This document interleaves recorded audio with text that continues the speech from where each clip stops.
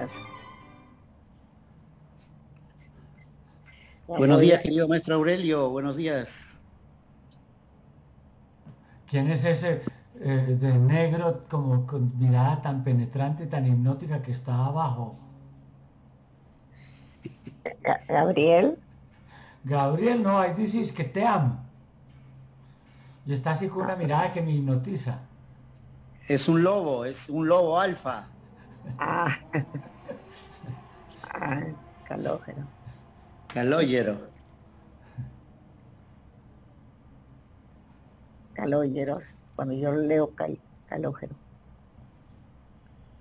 Ahora él no va a decir cómo se pronuncia. Aurelio, ¿cómo se pronuncia? Con mucho cuidado en equivocarse porque puede que no le guste. Pero ¿cómo se pronuncia? ¿Calógero o calógeno? A ver los del team, ¿cómo se pronuncia? Caloyero, creo que es. Calóyero. ¿Cómo? Calóyero. Calóyero. O si se está enredando mucho, dígale calo. Calo. Le gusta que le digan calo. Calóyero. Ok. Listo, voy a empezar, voy a poner para ir grabando en vivo en YouTube. Ese nombre es italiano, por eso. Sí, ya de, vuelvo a... él es de Catania. Él nació ahí cerca del volcán Etna, en Catania. Cerca al aeropuerto. Maestro, te presentas con los que no te conocen y él se presenta con los que no lo conocemos a él. Muy bien. ¿no? A la hora que doy el, a la hora que doy el. Faltan como dos minutos aquí, ¿está bien? Sí, falta un minuto. Sí, estoy conectando para para grabar esos perritos. Les he pedido por favor que mantengan sus micrófonos en silencio. Cuando les doy el pase, luego que he levantado la manita, eh, ahí recién los abre y se presenta para que sean conocidos mundialmente. ¿ok? Ya todavía no entra Calo. Aunque Carlos tiene ya ahí la imagen. Es inconfundible. No, él está su imagen desde temprano. Está desde a las ocho y media entre yo y ya estaba él ahí, pero todavía no está porque no empiezo a grabar. Ya. Aún no, ya está grabando. Él viaja hoy después de este evento. Oh, ya. Hola, buenos días. Buenos días a todos. Se, se me oye, ¿no? Ah. Ahora sí. Per- per- perfectamente. Sí, Bueno, vamos, ok. en- vamos iniciando. Muy buenos días. Eh, mi nombre es Gloria Cosío, estoy en Lima, Perú, y tengo eh, la bendición de poder presentar el día de hoy a dos grandes maestros para una tertulia muy interesante.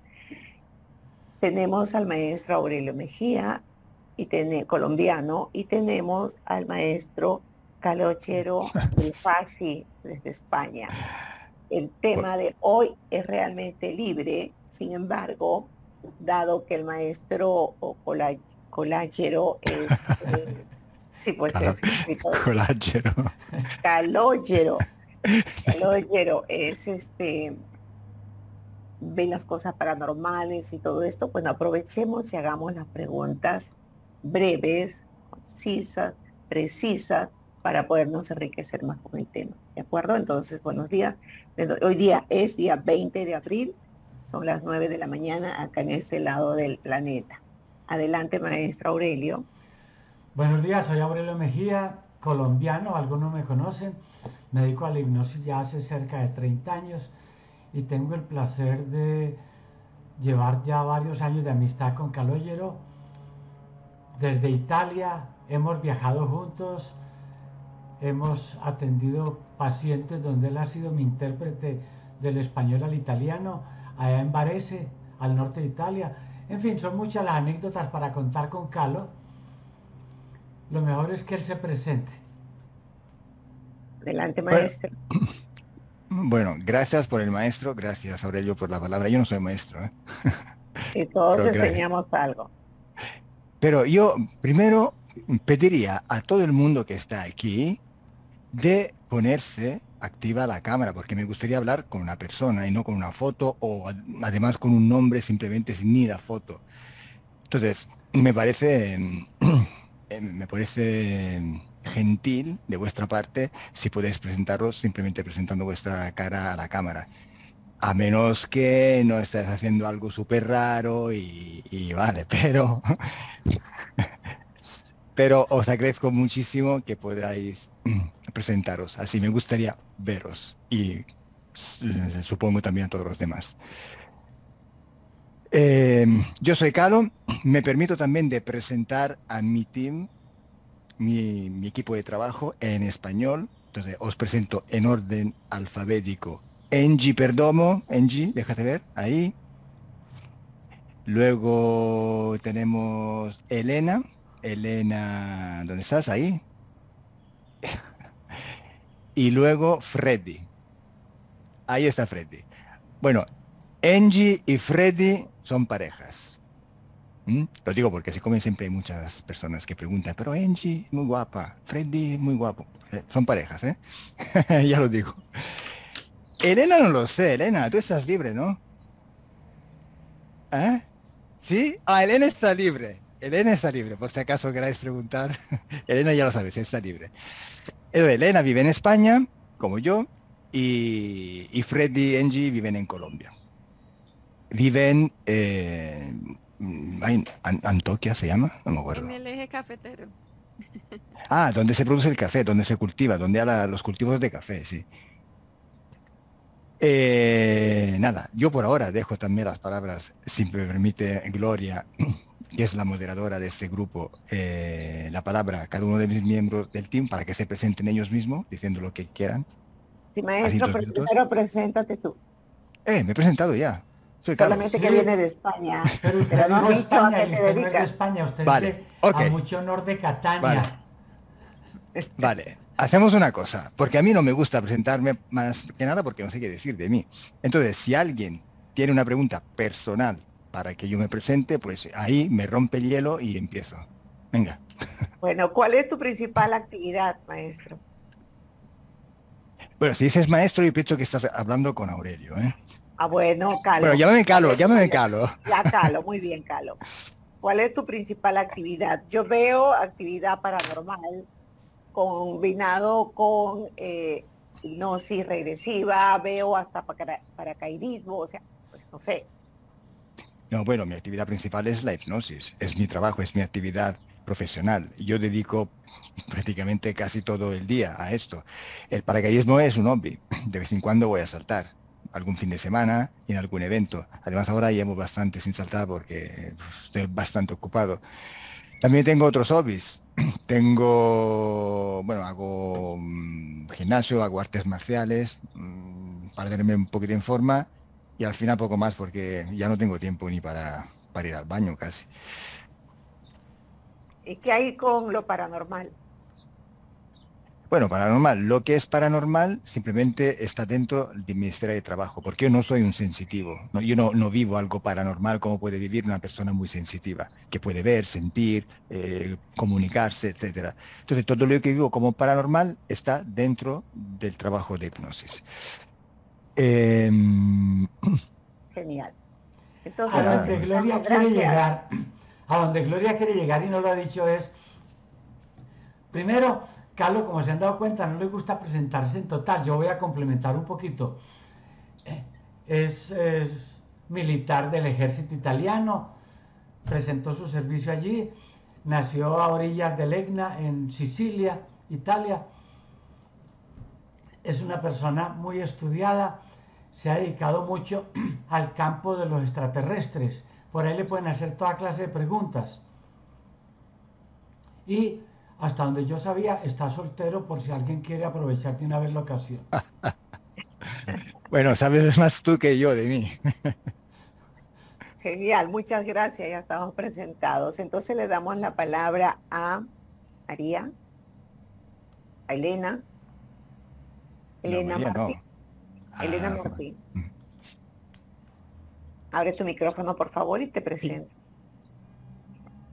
Mm, pues un saludo a todos, estoy encantada de estar aquí eh, y Eh, bueno, yo formo parte del Team Grifasi, eh, estoy mm, feliz de, de, formar parte de, este team del Team Grifasi en español, porque luego hay muchos Team Grifasi, ¿no? De distintos idiomas, otros compañeros. Y mm, bueno, eh, he sido la última en incorporarme y bueno, todo cambió en el momento en que yo decidí hacer una, sesión con Calo, ¿no? Ahí cuando hice la sesión con él y vi los resultados en mí misma, ¿no?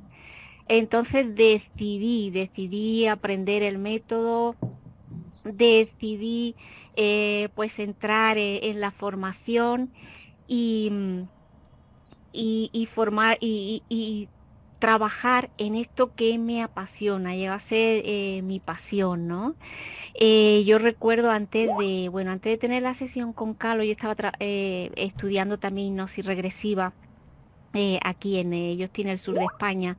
Em, y, pero cuando yo escuché sus vídeos y sus, y sus sesiones, yo las comencé a estudiar, o sea, yo las estudiaba, ¿no? Y mm, y bueno, ahora pues eh, me dedico parte de, mi tiempo a la, hipnosis. Eh, trabajo, eh, he reducido mi trabajo en una empresa, pero trabajo cuatro horas también en una empresa. y cada vez más la hipnosis ocupa más tiempo, ¿no? Este trabajo ocupa cada vez más tiempo de, mi tiempo, ¿no? Cada vez más, ¿no? Porque me apasiona y, mm, y, participas en el equipo. Muchísimas y participo en el equipo. Ok, muchísimas gracias. Freddy, por favor, abre tu micrófono. Muy bien, muy buenos días a todos. Mi nombre es Freddy Marín. Hago parte del Team Brief hace ya aproximadamente seis años. Eh, inicialmente conocí a Carlos siendo cliente, me hice una sesión directamente con él, excelente el proceso y de ahí eh, comenzó a fluir en mí una pasión muy fuerte por la hipnosis al punto que hoy día pues ya estoy aquí como operador de hipnosis. Mi actividad principal pues básicamente son dos, que es músico, eh, soy graduado como músico, estudié música y por otro lado la hipnosis que la he estudiado con Carlos a través de todo este tiempo. Soy de Colombia, soy de Armenia, Quindío, del eje cafetero, que es uno de los epicentros más importantes. Entonces, gracias. Gracias, Freddy, y gracias por ser breve, Angie. Buenos días, un gusto igual estar acá con todos ustedes. Bueno, soy parte del team. Eh, conocí a Calo gracias a la sesión que Freddy se hizo, fui soporte en su sesión y comencé a trabajar con el team Grifasi como soporte, operador de soporte, que es la persona que apoya en las sesiones para entrar en hipnosis. Ahora pues ya hago más parte de la parte administrativa, tutor, secretario y otras funciones más que Calo pues con su confianza me ha brindado. He aprendido muchísimo de él, del team, de la hipnosis pues muy feliz de dedicarme 100% a esto y bueno, aquí seguiremos aprendiendo y siguiendo pues en contacto con nuestros clientes y haciendo hipnosis regresiva porque todavía hay mucho más para hacer. Muchas gracias, Sanchi. Bueno, Aurelio, ahora tendríamos que comenzar nosotros a presentarnos como los seniors del maestro Aurelio. ¿No? Eh, muy bonito, muy bonito el equipo. Eh, Gabriel, ¿habías estado con la mano en alto? ¿Te desanimaste? Abre tu micrófono. Hola, buenas. ¿Me escuchan? Sí, muy bien, perfectamente. Preséntate, por favor. Buenos días. Buenos días. Yo me considero un, uno del team Aurelio Mejías. Un saludo. No, ah, bueno, tú sí eres sí. Yo ya soy senior ya. sí, sí, sí. Y un saludo muy enorme a todo el team Grifasi que siempre hace tiempo ya lo venimos siguiendo y en verdad que son admirables. Eh, un gran abrazo fraterno a todos ellos y al chaval de, de Colajero, sí, sí, cómo no.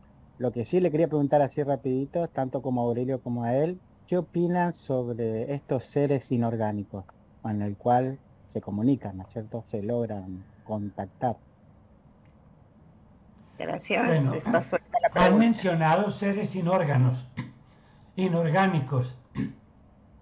Supongo que te refieres a seres celestiales, espirituales, energizales, invisibles, intangibles, sin órganos. Mucho de eso, si te refieres a los encuentros a través de la hipnosis, son imaginarios, son creación del propio sujeto. y los que no son creación, que podrían entrar al campo de lo real, muchos son indemostrables. En una ocasión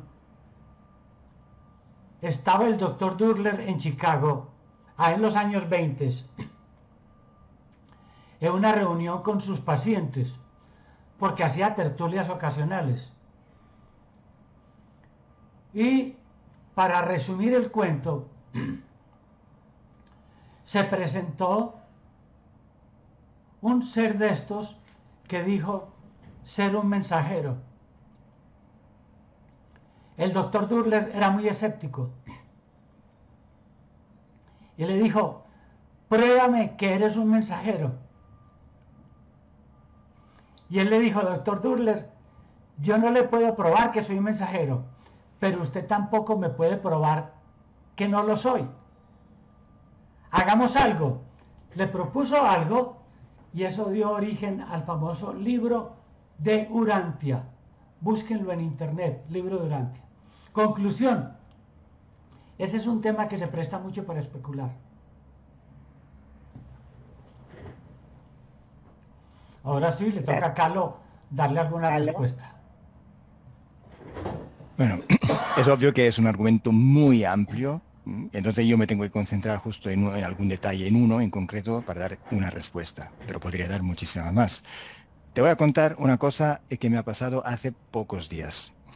Em, antes Engie dijo, yo trabajé como soporte, estoy trabajando como soporte. Yo supongo que algunas personas que están aquí presentes no saben qué significa una persona de soporte. Bueno, resumido, es una persona que entra en hipnosis porque tiene una alta susceptibilidad hipnótica y puede trabajar en hipnosis también por terceras personas y para terceras personas. Bien, entonces, mm, en el team tenemos algunas de estas personas con una muy elevada susceptibilidad hipnótica y hay una persona, una chica muy joven, tiene 22, 23 años, es francesa, que es muy, muy, muy sensitiva. Además, su trabajo, aparte de lo de estar trabajando en el team como soporte, es hablar telepáticamente con los animales. O sea, hace un adiestramiento, un adiestramiento a los animales a través de la telepatía. Y los animales aprenden bastante, aprenden con este... Y además, si el, si el animal tiene un problema, un dolor o algo, ella sabe identificar qué es porque eh, de alguna manera llega esta información. Bueno, aparte de esto, quiero decir que esta chica es muy sensitiva y el otro día me manda un mensaje y me dice, Calo, eh, el otro día tuve un sueño y vi un, hombre anciano eh, que me dijo, que me dio una, una carta para ti, pero me dijo de abrirla no ahora, pero cuando él me diría. Vale, luego, y terminó el sueño. El día 14 de abril, justo hace pocos días, me manda otra vez el mensaje. Bueno, realmente me mandó solo un mensaje, me, hizo, un resumen, ¿no? Eh, dice, Carlos, eh, me estaba echando una siesta el día 14 y me apareció otra vez esta persona anciana, este hombre anciano, me dio la carta, me dijo de abrirla, yo la abrí, la leí y estaba escrito, feliz cumpleaños, hijo. Bueno, y me desperté. Ahora dice, yo no sé cuándo es tu cumpleaños, pero si no es tu cumpleaños, perdona el mensaje tan raro, etcétera, etcétera. Y yo le contesto, mi cumpleaños es mañana, el día 15. Digo, él siempre quería ser el primero en felicitarme. Era mi padre, que murió hace dos años y medio. Y esa chica no sabía nada, ni de mi cumpleaños, ni de mi padre que estaba muerto, no sabía nada. Nada, nada. Además, una cosa, yo mm, me di cuenta que era mi padre porque, porque ya capté que era él. Pero al final, cuando leí otra vez el mensaje, porque lo leí, lo leí otra vez, estaba escrito, feliz cumpleaños hijo, love, eh, ah, feliz cumpleaños hijo. Yo antes no me había dado cuenta que estaba escrito hijo, solo feliz cumpleaños y una firma que no se entendía, me dijo ella. Luego lo leí bien con calma y vi son, hijo, happy birthday son. Eh, y digo, ah, a ver, sí, que es mi padre, claro. O sea, eh, mi padre eligió contactarme, hablar conmigo a través de la persona más sensitiva que tenía un contacto conmigo, que tiene un contacto conmigo, que es esta persona que trabaja en el team francés. Y nada, eh, este te, he contestado con una experiencia directa. Bueno, nosotros le llamamos eh, medium, le llamamos antena, ¿no? Sí, hacen, hacen hay personas que tienen esa, ese don de poderse comunicar directamente con los inorgánicos. Eh, iPhone de Carmela, adelante, abre tu micrófono, por favor. Hola, buenos días, mis saludos para todos. Gracias, Gloria, por este en vivo, excelente. Mi pregunta es para Carlos desde que lo conozco hace tantos años a través de sus videos, ¿no? Y me pregunto siempre, ¿cuál es el origen de tu alma, Carlos?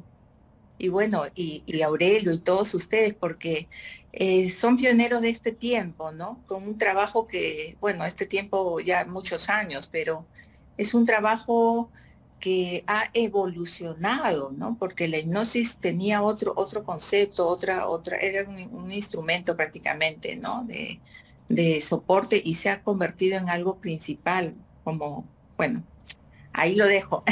Gracias. Gracias, Carmela. Eh, Calo, tu respuesta. Es que no lo sé. O sea, ¿qué alma soy? Ni idea. Ni idea, porque cuando estamos en este cuerpo físico, encarnados, estamos muy limitados a los cinco sentidos que nos permiten eh, vivir la fisicidad, en la dimensión física. Algunas personas tienen como un sexto sentido más desarrollado que pueden captar información de otra manera, pero mm, poco más. Entonces yo realmente, como soy muy duro, yo no entro ni en hipnosis, yo estoy eh, mm, con los cinco sentidos del sexo como si no lo tuviera, pues no lo sé. Igual yo, Tampoco sé lo que es estar en hipnosis, ni lo necesito por ahora. Y las cosas se dan cuando se tienen que dar. Mi encuentro con Calo hace ya muchos años fue, hoy lo veo causal, no de casualidad. Así tenía que ser. Y como les dije, he compartido con él ya experiencias en Italia y en Madrid y en otros lugares. Mira, te voy a hacer una promesa, que voy a verte físicamente también a Colombia. Sí, voy a visitar a Angie, a Freddy y a ti. A ver si me traigo a Elena también. Qué diplomacia para decirme, Aurelio, prepárate que me vas a tener que sacar de paseo en Colombia. Sí, sí, yo quiero, quiero. Quiero ir a Colombia a visitaros. Eso sí, promesa. Listo. Muchas gracias. Ya tiene la respuesta, querida Carmela. Por ahí veo al doctor Ramiro Montaño. Un saludo, lo extrañamos el domingo pasado. ¿Qué tal? ¿Cómo está? No sé si tienes alguna pregunta, algún aporte. Estamos en tertulia con Calo y con el maestro Aurelio. Estamos en calentamiento porque no se han atrevido todavía como a hacer preguntas. Sí, pues no. Por eso le doy el pase al doctor Ramiro para ver si es que tiene alguna.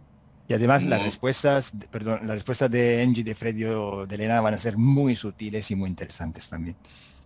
Eh, muchas gracias, eh, Gloria, maestro Aurelio. Eh, eh, realmente es la primera vez que contacto con, con tu programa, con tu trabajo, no, no tenía conocimiento.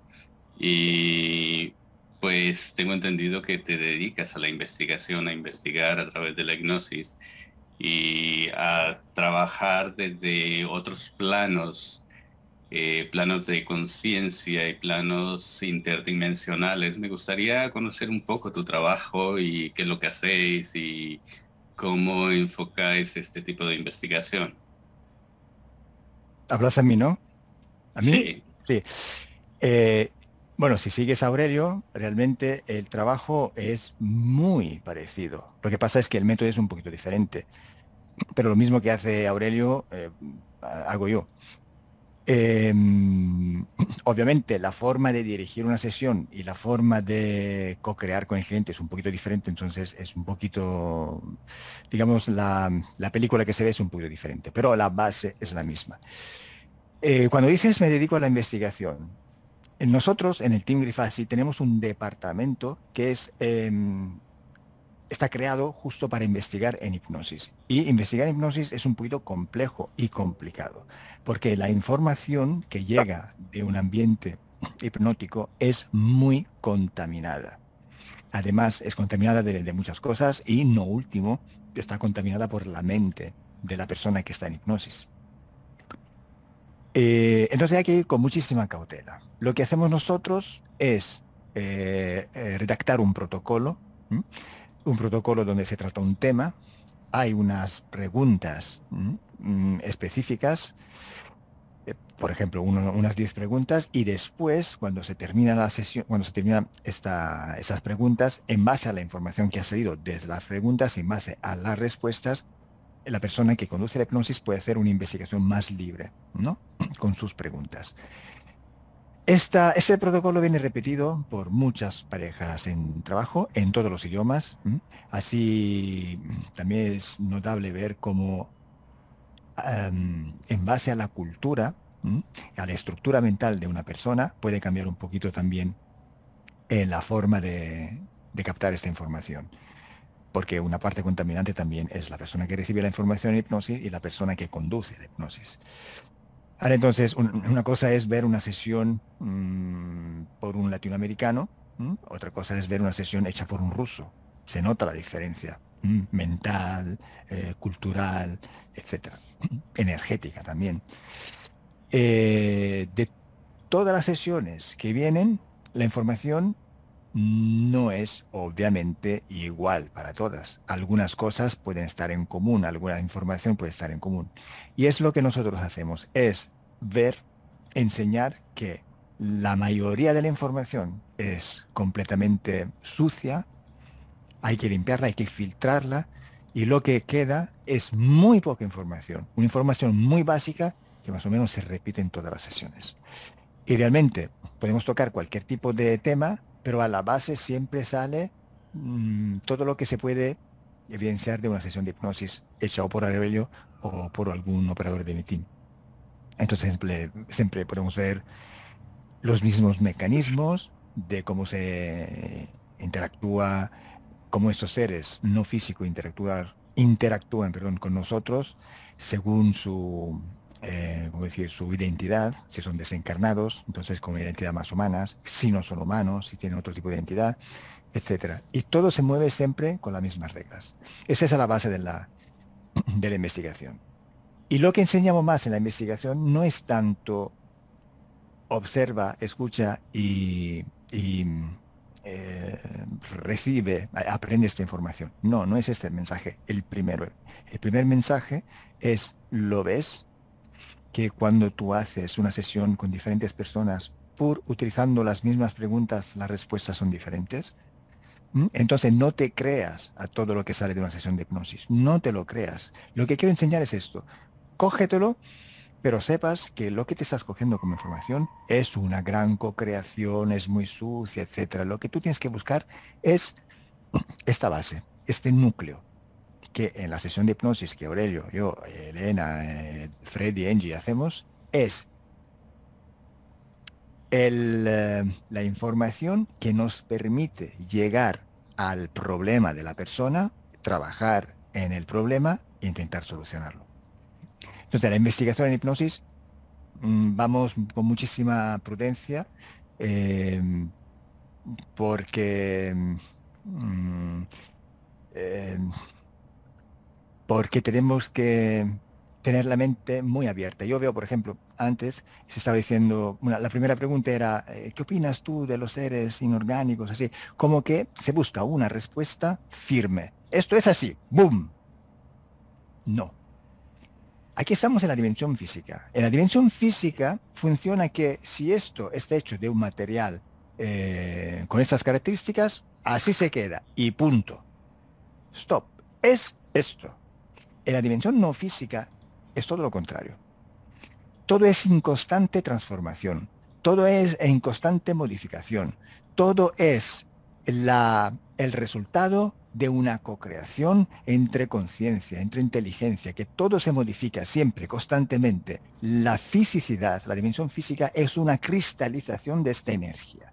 Y vivimos aquí en un mundo pesado, en un mundo duro, en un mundo físico, en un mundo pesado, mundo matérico.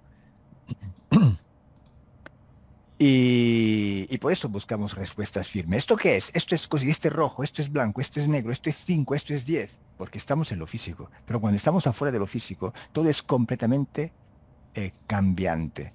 Entonces, ahora, por ejemplo, me llegó un mensaje hace poco y dice, una persona me, me hace una pregunta y yo le doy una respuesta, una respuesta obviamente sin darle una respuesta firme porque no la hay. Y me dice, entonces, entonces, ¿a qué tenemos que creer? ¿O qué tenemos que hacer? Eh, me siento vulnerable, no sé qué pensar.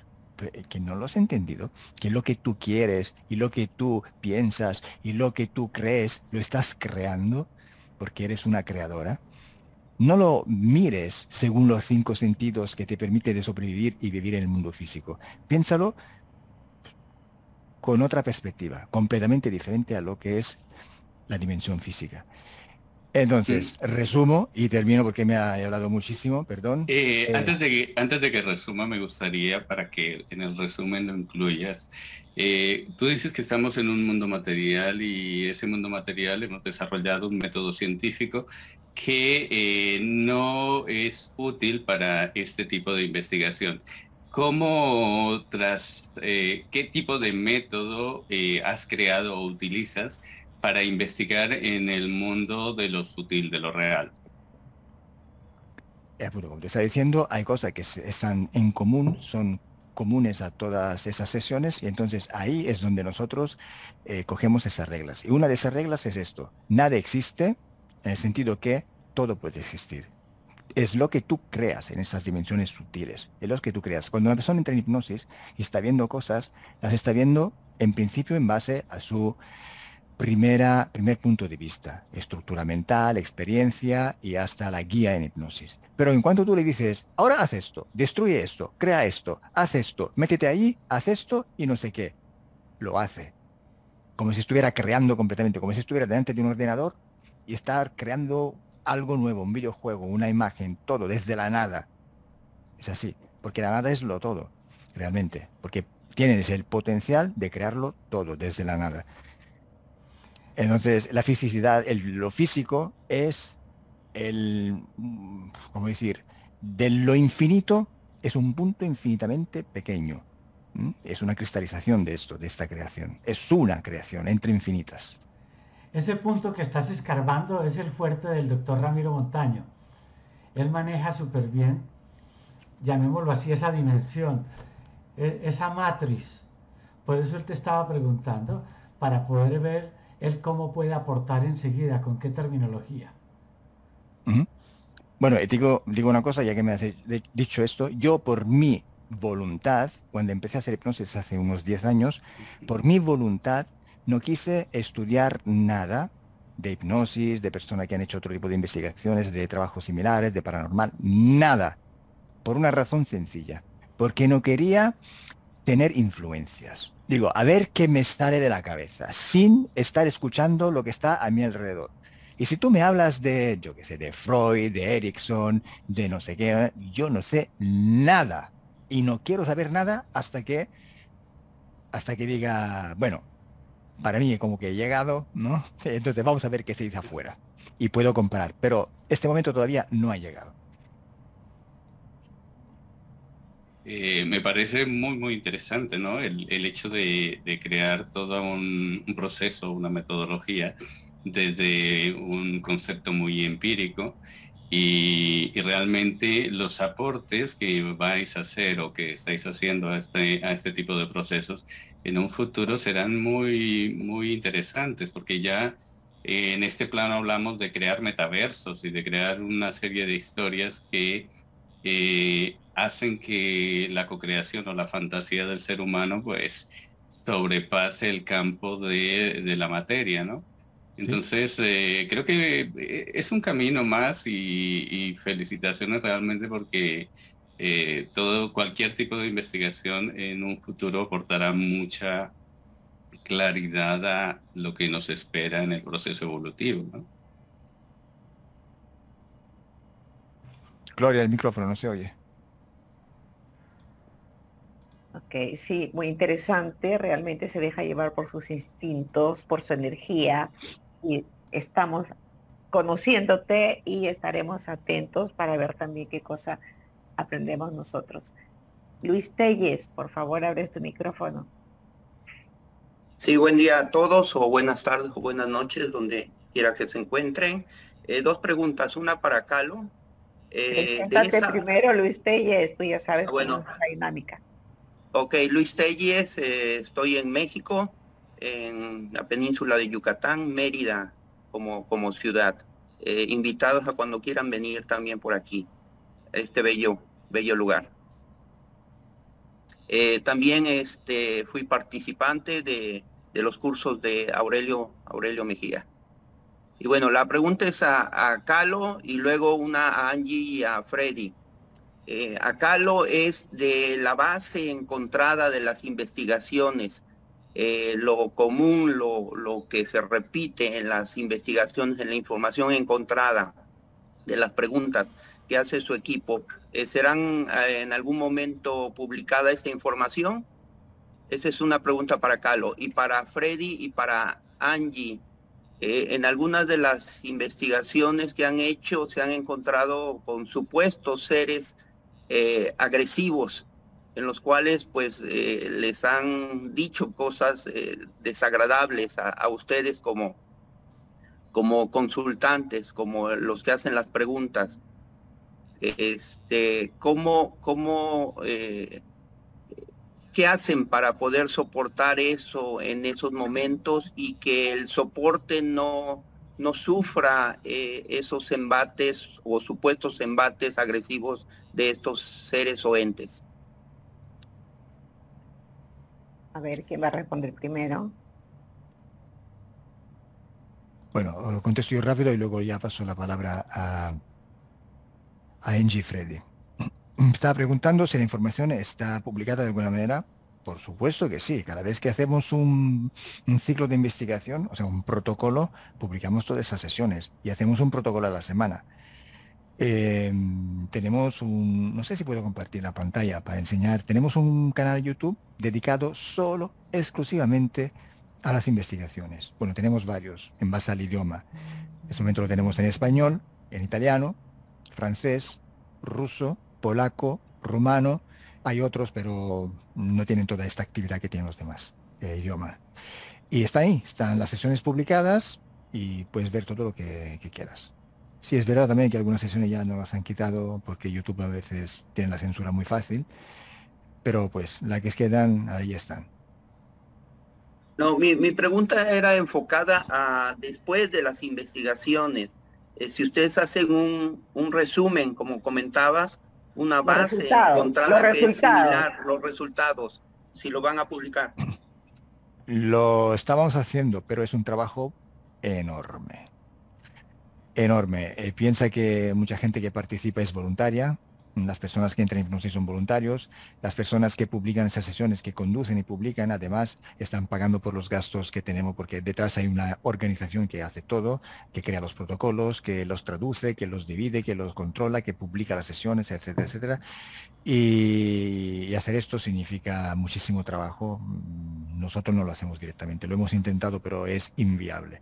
Lo que hay que hacer es, mira, realmente lo tenemos escrito en cada en el canal, en el sitio web, en todos lados. Eh, ¿Cómo hay que ver esas sesiones? Las sesiones hay que verlas así. Tú te ves una sesión, perfecto. Te ves dos sobre el mismo tema, perfecto. Te ves cuatro o cinco. Cambia el tema, la, la semana siguiente te ves otro, perfecto. ¿Qué pasa? Que con el tiempo, viendo sesiones, sesiones y sesiones, la mente empieza a captar cuál es esta información en común. Empieza a descartar las que es contaminada, las que realmente se nota que no sirve porque no pega, no es coherente con las demás. Pero esto necesita tiempo, necesita tiempo porque hay que acumular muchísima información, mucha cantidad de información, para luego empezar a sacar la calidad. Es como cuando un niño aprende a hablar. El niño aprende a hablar no cuando nace, el día mismo, es imposible. Tiene que estar un tiempo escuchando los sonidos. De esta manera, escuchando cada día hablar a los padres, a las otras personas, el cerebro empieza a captar estas señales, estos sonidos, empieza a detectarlo, empieza a identificarlo, etc. Y al final de todo lo que ha oído, ¿qué es lo que va a captar? La base del lenguaje, las palabras, los sonidos, las reglas gramaticales, empieza a formar poquito a poco discursos completos y dentro de unos cuantos años, tampoco muchísimos, empieza a hablar correctamente. Pues lo mismo sucede viendo las hipnosis. Es como estar escuchando a alguien que habla. En principio a lo mejor se puede entender nada, pero poquito a poco se empieza a entender qué es el mensaje que está, llegando, hasta llegar a un punto que, tú lo, entiendes, ya lo sabes, sabes cómo funciona, sabes cómo es el mecanismo que mueve todo en lo esotérico, y ya cuando te ves una sesión de investigativa, una sesión al cliente, o a paciente, simplemente estás entendiendo perfectamente lo que está pasando y por qué. Es que ya sabes hablar, ya dominas el lenguaje. Punto. Esto es. Simplemente ver los vídeos. Bien. Luis, para contestar a tu pregunta, eh, bueno, nosotros como operadores, que son las personas que dirigen la sesión, y como soportes, que somos las personas que entramos en hipnosis, estamos entrenados para poder estar ahí en esa sesión, pudiendo manejar ese tipo de energías y hablando con ese tipo de eh, seres, entidades o inteligencias. Eh, también hay que tener en cuenta que cada vez que nosotros estamos en hipnosis sabemos cómo movernos, no porque seamos más o menos, sino porque entendemos que como seres inteligentes, como energías, somos indestructibles.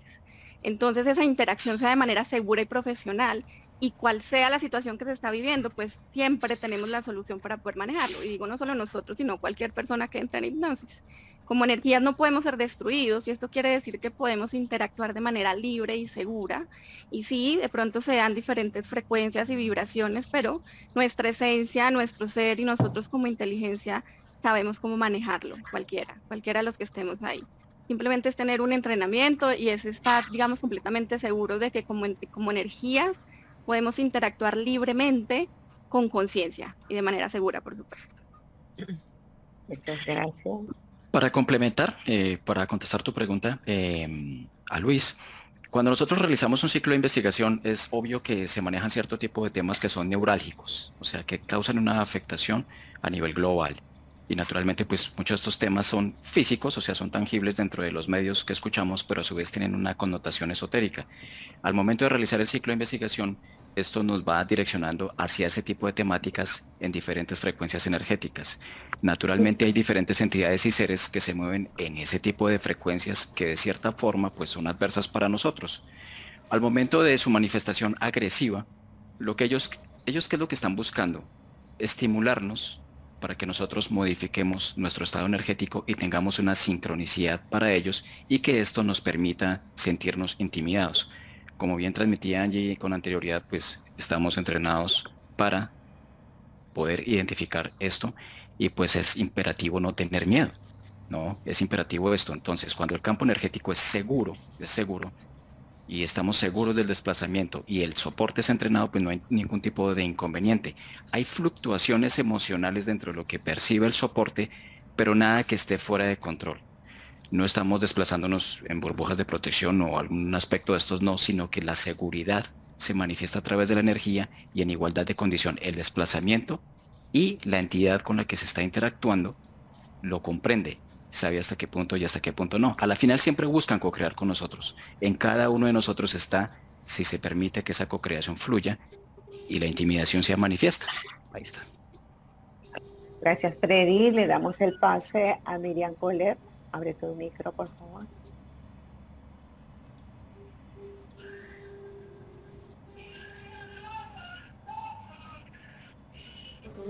Hola, ¿me escuchan? ¿Sí? Bueno, Hola a todos, muy buenas tardes, desde un saludo fraternal desde, desde Alemania y agradezco esta invitación. Estoy muy emocionada por estar eh, eh, justo compartiendo este tiempo con el maestro Aurelio y Calogero Grifasi. Eh, las investigaciones de Calogero Grifasi me interesan bastante y vengo siguiéndolas desde hace mucho tiempo. Y aquí tengo una pregunta para Calogero Grifasi, a quien también eh, quiero felicitar, felicitarte, Calogero, por este tipo de investigación que estás realizando tú y tu grupo. Realmente lo hacen muy bien. Y bien, em, la pregunta es la siguiente. A pesar de que los soportes y los operadores están muy bien entrenados ah, para em, para poder investigar eh, y, se puede decir conectarse de alguna forma con interferencias, con energías en el plano astral o en, dentro de las sesiones. em, a pesar del buen entrenamiento que tienen, quisiera saber si es que alguna vez, eh, en alguna, si es que algún operador o soporte ha sido interferido, eh, ha sido interferido y que a pesar de que al finalizar la sesión se le pide desconectarse completamente de todo y de todos, si es que a pesar de toda esa desconexión que se hace al finalizar, si es que esa interferencia eh, se ha mantenido ahí, ah, ¿les ha sucedido a alguno de a alguien durante todo este tiempo de investigación? Y si la respuesta es sí, ¿qué se ha hecho para poder sacar esas interferencias eh, y, liberar, y liberar al soporte o, al operador, si es que también ha sido, eh, si es que ha sucedido eso, ¿no? Me, gustaría saber. Muchísimas gracias por vuestra respuesta. Gracias, Miriam. a, a los que van a intervenir posteriormente, les agradeceré que tengan su pregunta lo más breve posible porque nos queda poco tiempo, ¿de acuerdo? Gracias. Adelante, Calo. Mira, eh, estás creando una confusión entre lo que es una interferencia esotérica y lo que es una canalización. Si yo a Angie o a Freddy le digo de canalizar un ser muy pesado, y a lo mejor a causa de esta canalización me están insultando, están diciendo palabrotas o están utilizando la fuerza física para tirar objetos, es porque están canalizando esta entidad, están dando la posibilidad de expresarse a través de su voz, de su cuerpo, etc. Pero esto no significa que son interferidos. interferencia es otra cosa. interferencia es cuando la persona sufre la presencia de esta entidad en su campo, en su, en, su espacio, y entonces eh, no vive bien, vive con esta interferencia esotérica. Es una cosa completamente diferente. Cuando termina la sesión, termina la canalización, termina la sesión, termina todo. Puede quedarse algún residuo energético que puede durar pocos minutos, en algún caso, pero no más. Yo eh, podría enseñaros ahora mismo, por ejemplo, un, una, no era una sesión, era un trozo de sesión que dura un par de minutos. Hice canalizar a una, a una persona de soporte del team italiano-francés, primero una persona poseída, de esta que se meten en una iglesia y empiezan a saltar en el aire, y una persona también que estaba mm, en fase terminal en un hospital. Dos canalizaciones diferentes. Eh, son dos canalizaciones muy fuertes. Además, la de la posesión es que la chica realmente casi ni respiraba a veces, ¿no? Porque le faltaba hasta el aire. Pero no pasa nada. Al final del, ejercicio, de estos minutos de canalización, todo perfecto. Gloria, si tú quieres, yo la busco un segundo y la, enseño. Son un par de minutos. No es que si yo quiera, sino tú para dar bien la respuesta. Mientras va buscando. lo busco, vale. mientras va buscando. Gracias, Calogero son residuos energéticos, tienes toda la razón. Muchas gracias. Ok, gracias. Mientras va buscando, te voy dando otra pregunta. Dice sí, sí, acá en el YouTube, a lo que llamamos entidades, podemos decir que son egregores propios y colectivos. Perdón, que estaba buscando, estaba distraído. ¿Estabas hablando conmigo? Ah, ok, ok. Sí, sí, disculpa. Bueno, vamos, eh, ya respondió también. Yo tengo el vídeo, por si acaso lo enseño. A ver, maestro. A ver si puedo... No, me tienes que dar la posibilidad de, compartir pantalla, no tengo el permiso. A eso sí, ¿cómo se hace, doctor Ramiro? Esto tienes que ir a seguridad o security, no sé cómo está escrito en español. Eh, vas a compartir más fácil, donde dice compartir un punto verde que hay, un botón verde. compartir pantalla.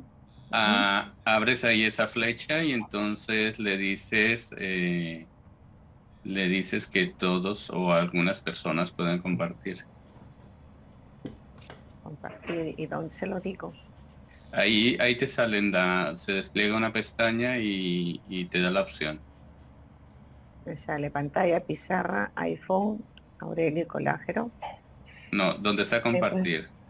Ok, me sale compartir, solo compartir. No, hay que ser otro. Tiene que ser escrito, tiene que, el logo es un escudo y en inglés está escrito security. Claro, pero no, no me sale. Me sale, será para la próxima. No, ¿sabes qué? te paso yo, te paso yo el enlace y tú lo, lo pasas. Ah, ok, genial, estupendo, me parece mejor, lo comparto luego. Pues tú estás compartiendo, y que no sé, estás compartiendo una pantalla, no veo nada. Ya ves.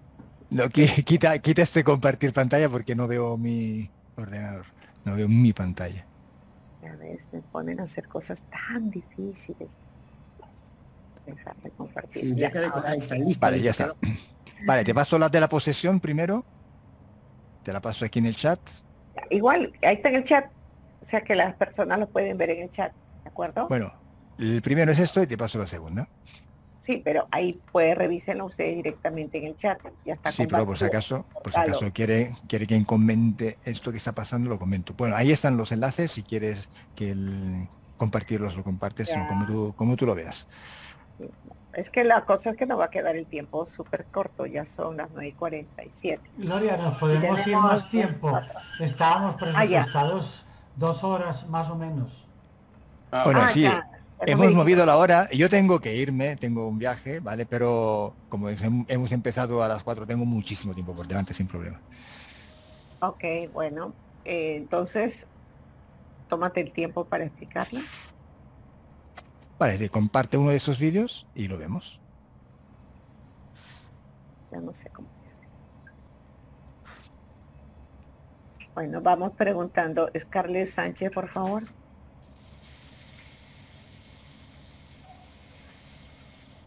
Hola, ¿me escuchan? Eh, bueno, yo tengo una pregunta. Bueno, quería saludar al maestro Aurelio porque, bueno, yo la verdad es que he seguido sus su vídeos y eso y, tengo una cita programada con él pues el siguiente mes y me cayó la notificación y me llamó la atención y bueno, vamos a entrar a ver cómo está esto. Entonces me entró, bueno, una pregunta que digo a ver si me la pueden contestar. Eh, la tengo escrita porque sí se me olvida. Dice, eh, bueno, ¿por, ¿por qué si no he tenido encuentros paranormales? O sea, yo no he visto nada ni nada de eso. Muchas veces siento miedo, siento eh, una sensación como de que algo puede asustarme o de que puedo ver algo que, mm, que no sé, como que siento algo y, y, es casi cuando me siento sola, cuando no hay nadie en la casa, siento, me siento como Mm, como si algo me puede asustar y entonces a veces trato como de encerrarme en mi habitación y no salir ni a la cocina ni nada porque siento algo así.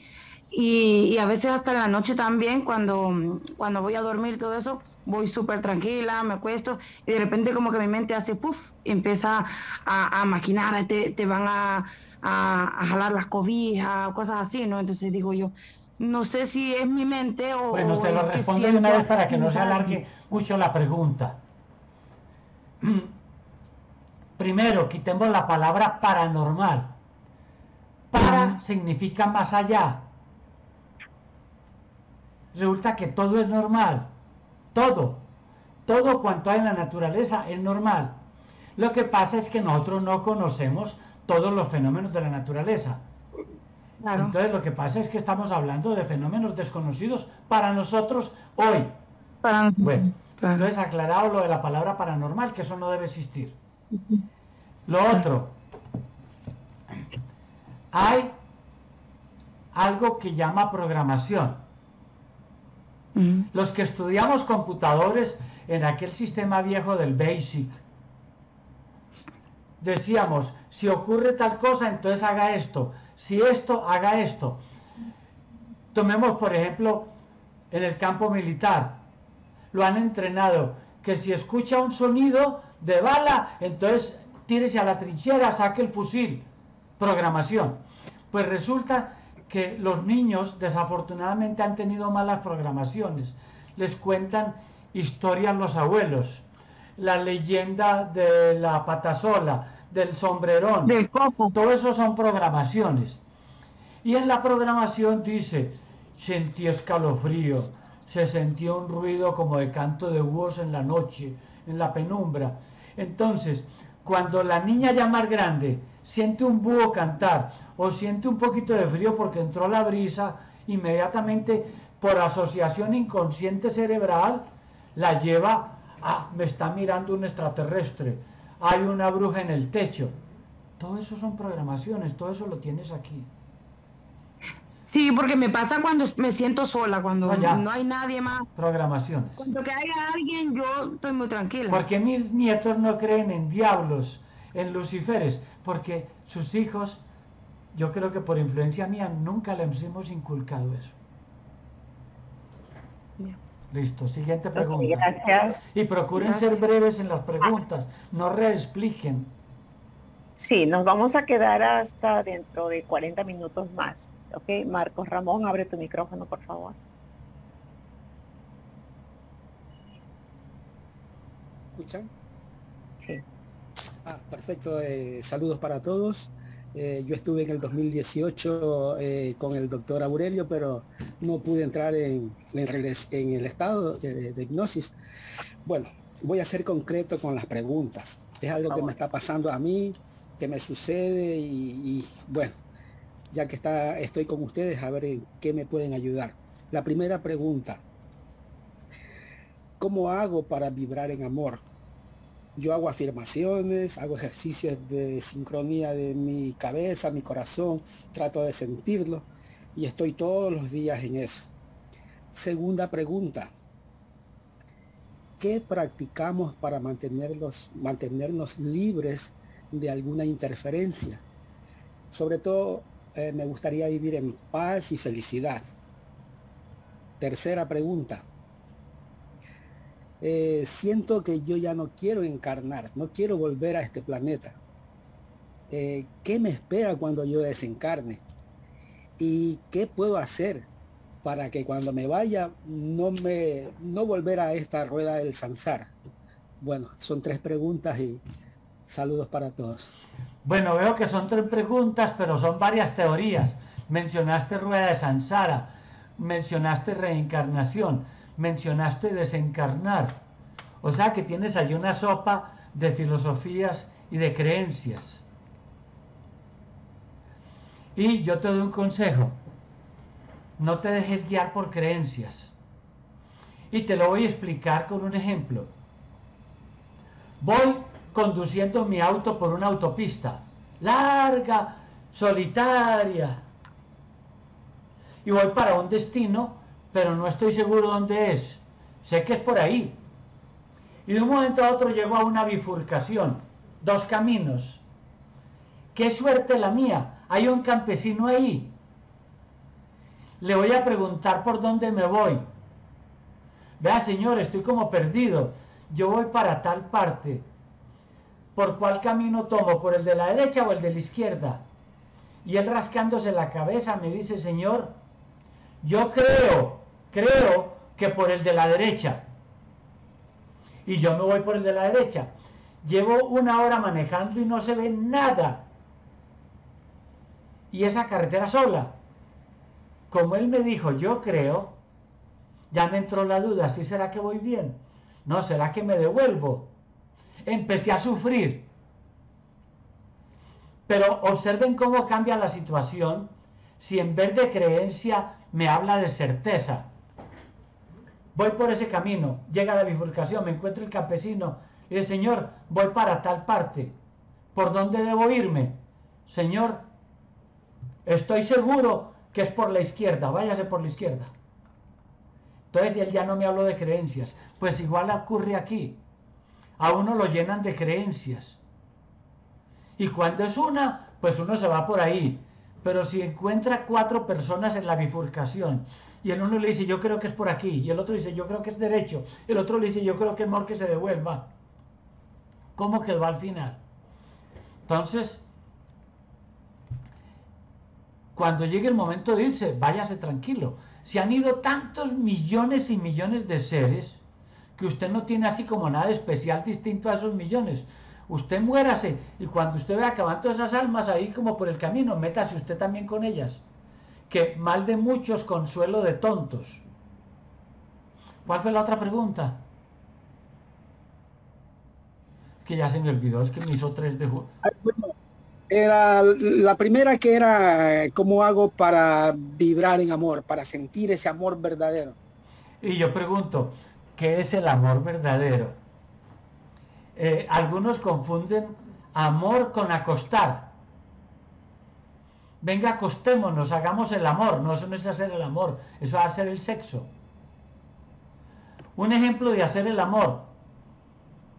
va usted caminando por esa calle de ese lugar, en fin, no digo cuál, usted se lo imagina, y hay una pobre mujer ahí con la minifalda sugestiva y, me dice, caballero, hacemos el amor, porque veo que tiene hambre. Le digo, negra, venga, hagamos el amor.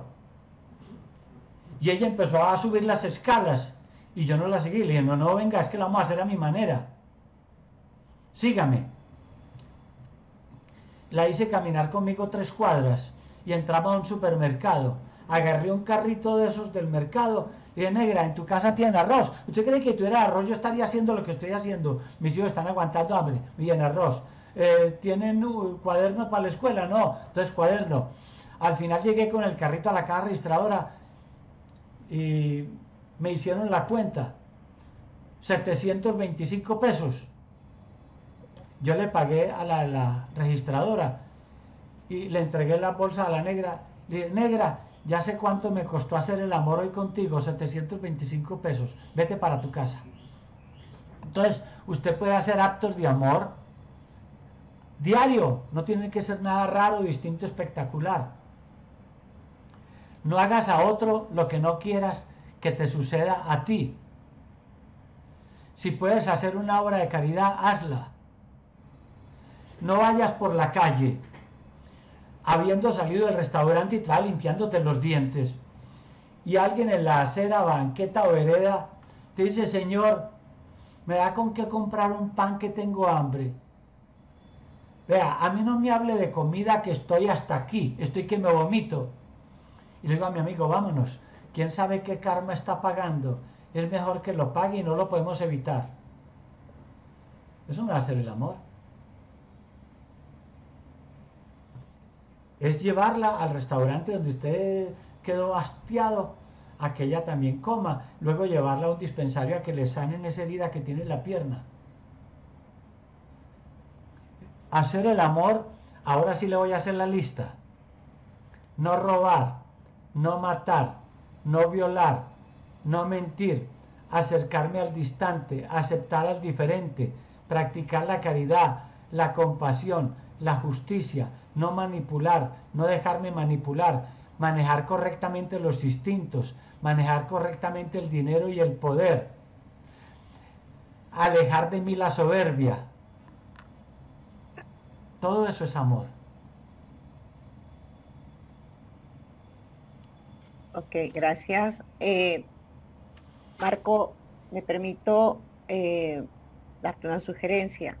Para que tú vivas en amor, primero tendrías que tener amor. Tendrías que ver de dónde vas a elegir llenarte tú de amor. Puede ser agradeciendo todo lo que tienes y darte cuenta que el universo te está regalando tantas cosas. Puede ser eh, de la naturaleza, de lo que quieras, pero primero tienes que tener para luego poder sentir, para luego poder entregar. Esa es mi opinión. ¿De acuerdo? Este, Nancy, abre tu micrófono, por favor.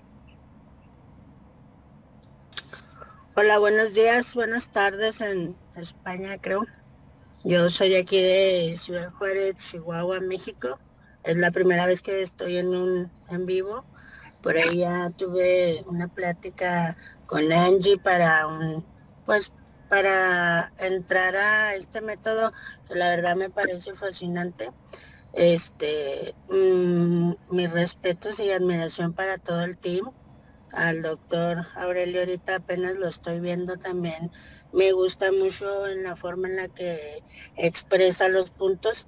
Mi pregunta es para este Calógero. Ah, yo tengo realmente como un mes y medio viendo sus videos y realmente pues sí han cambiado mi vida para mucho mejor. Me ha resonado muchísimas cosas súper bien. Este, y a mí ahorita mi, mi pregunta sería, ah, como a mí me interesa prepararme en su método, este, a mí me gustaría saber cómo él fue que creó este método Grifacio, o sea, cómo llegó a este tipo de hipnosis tan, tan profunda y pues que sí son unos resultados súper padres porque yo veo los videos y he entendido algunas cosas, otras pues las vuelvo a ver y pues sí ha cambiado mi vida, la verdad, para bien. Entonces pues los felicito a todos en el team, la verdad me encanta su, pues su trabajo y esa sería pues mi pregunta. Gracias. Ok, Nancy Preciosa, este Calo ya respondió eso, lo dijo que lo hace por sentimiento, lo hace por instinto, ¿no? De ahí surgió y bueno, haberse conocido también con el maestro de él. ¿De Eso ya lo respondió. Eh, gracias. ¿O quieres responder algo más, Calo?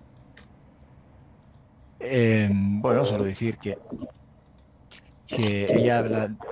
¿Puedes descontar el micrófono, Nancy, por favor? Sí, gracias.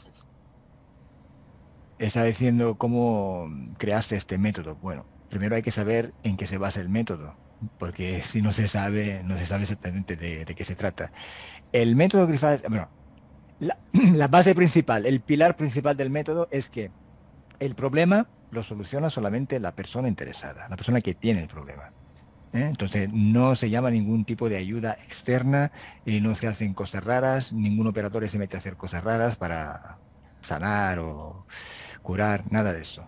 La persona a través de su voluntad lo soluciona. ¿Y cómo lo soluciona? Primero tiene que entender cómo ha llegado al problema. Una vez que entiende el mecanismo del problema, lo soluciona. Punto. Esa es la base. Y luego contar cómo he llegado a esto es muy largo. Pero bueno, empecé viendo los vídeos de, Aurelio y desde ahí empecé a mover un poquito a poco. Y, nada. El culpable es, Aurelio. ¿eh? Él tiene la culpa de todo. Si no hubiera sido para él, yo no estaría aquí ahora. Aurelio es el culpable de que todos estemos acá. Muchas gracias. Gracias, Nancy. Julio César, por favor.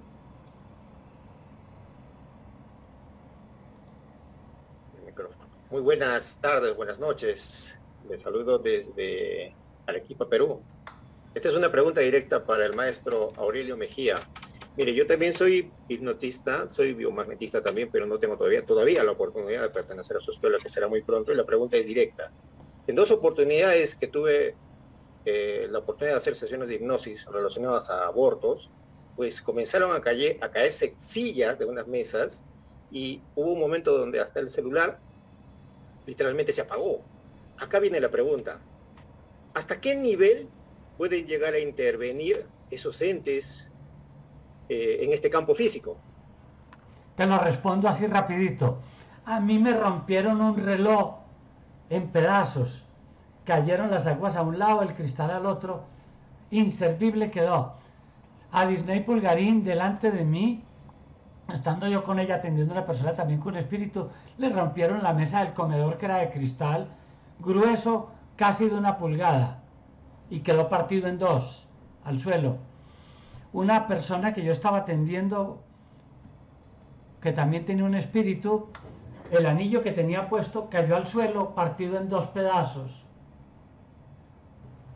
Mm, eso así de lo que me acuerde rápidamente. O sea que sí, el mundo intangible, el mundo espiritual o el mundo energético, cuántico, como lo quieran llamar, influye en el mundo físico. Un ejemplo con este imán que tengo acá. Como están viendo, a ver, yo me, pongo la vista para yo también verme. Están viendo un imán. Evidentemente, algo invisible, que son las líneas de fuerza magnética, está sosteniendo este objeto. Está sosteniendo este otro objeto. Es algo invisible. Y vemos que está influyendo en la materia. Si eso invisible desapareciera, estos objetos caen. Vea, ahí cayeron. Conclusión. Pensamos que la materia influye en la energía. Y esa era la física que manejábamos de Newton.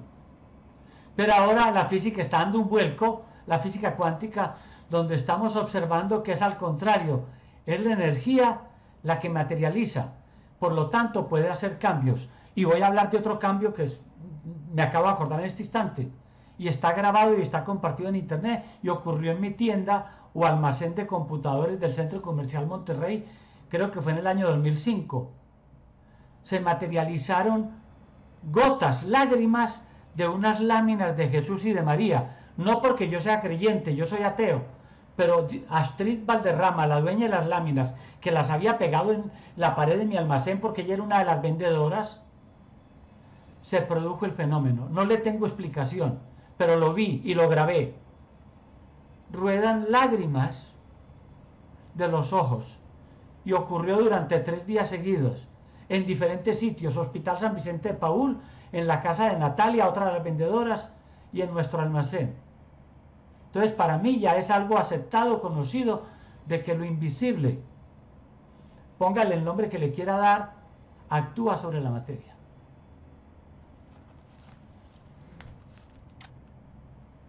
Alguien lo dijo, lo dijo Carlos al comienzo. Si tú lo crees, lo creas. Y si lo creas, más lo crees. Y si más lo crees, refuerza lo que creaste. O sea que tú haces tu propia realidad. Carlos, ¿deseas agregar algo? No, nada, nada que añadir. Ok, gracias.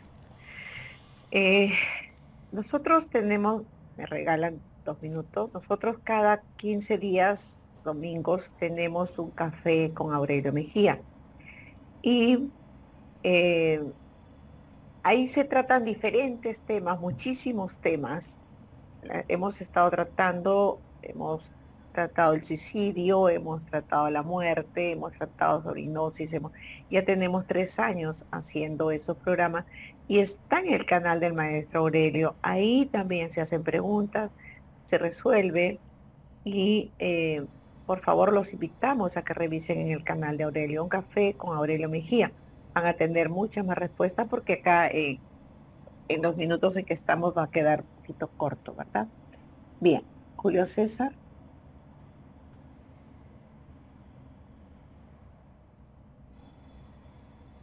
Hola, Julio César, ¿estás? Sí, muchas gracias. Ya, ya conversé con, el maestro, muy amable, muchas gracias. Ah, ok. Eh, Carmela. Hola, sí, nuevamente. Esta pregunta más que nada para los eh, operadores de soporte, Angie y Freddy, este, sobre los ataques energéticos. O sea, Aurelio habla un poco de, a los objetos, ¿no? Yo me refiero a las personas, o sea, ellos que han canalizado, que han tenido un contacto directo con entidades, han sufrido ataques energéticos o cómo, cómo pueden evitarlo. Gracias. A ver, ¿quién responde? Hola Carmela, ¿cómo estás? Eh, bueno, en cuanto a ataques energéticos, pues cada vez que se realiza una sesión, siempre en la mayoría de las ocasiones estamos tratando con entidades de diferentes y bajas frecuencias. Al fin y al cabo un cliente viene aquí porque tiene un inconveniente. Al momento de estar en el estado de hipnosis se pueden percibir las frecuencias de estos seres, pero como reiteraba anteriormente, es vital estar seguro de lo que se realiza y saber cómo es que funcionan y estos seres buscan co-crear contigo. En lo personal nunca he tenido un ataque energético. Eh, sí he tenido la oportunidad de ver seres ya físicamente que después de una sesión los he visto frente a mí. Entonces una vez hice una sesión para un cliente, como anécdota cuento esto, y habíamos lidiado con un reptiliano de ciertas características. Cuando me acosté a dormir, yo me desperté como a las 3 de la mañana abruptamente y ya vi este ser con una túnica puesta y observándome y haciendo un sonidito como el del depredador en la película que ya no. Entonces cuando yo me quedo observando lo que es lo que busca él, las reacciones que se puedan tener desde lo físico con base a su presencia. Y naturalmente como la sesión se había desempeñado de esa manera y él consideró que era yo quien había eliminado o lo había sacado al campo energético del interferido, entonces quería como tomar retaliaciones. Lo que hice yo fue pues, seguir durmiendo. Lo vi me impactó porque es como ver una figura del carboncillo flotando de una manera que no va con base a la lógica del funcionamiento físico. Y ahí terminó. Eso es lo único que yo haya como experimentado y no pasó de ahí. Yo puedo aportar algo ahí, un complemento. Una vez yo soñé que estaba despierto. Y una vez yo estando despierto, soñé que estaba dormido. ¿Abre lo que quieres decir con eso?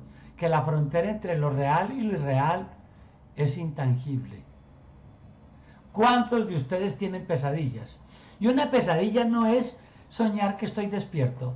y que estoy viendo el tigre. Ahí les queda el tema para pensar.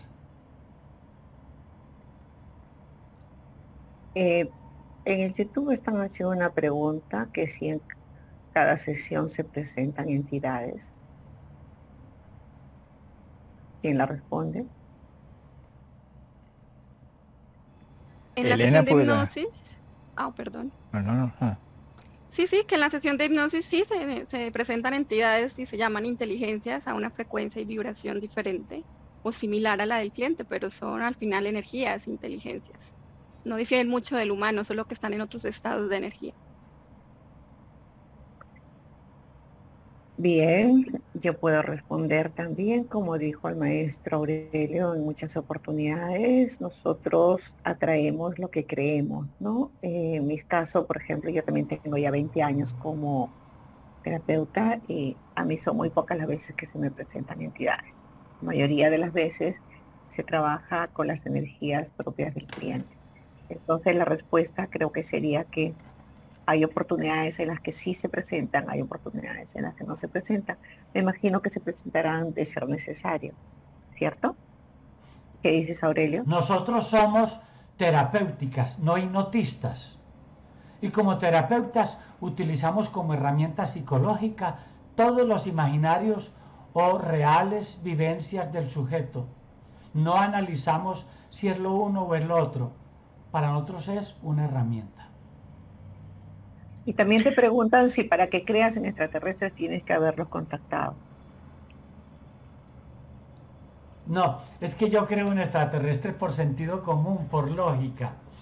Y le voy a hacer una pregunta bien simple a la persona que hizo esa cuestión. En internet. Imaginémonos una piscina de pelotas de esas de plástico, rojas, verdes, amarillas, azules, de un centro comercial a donde llevan los niños a que jueguen allí y se tiran y se meten entre las pelotas y salen.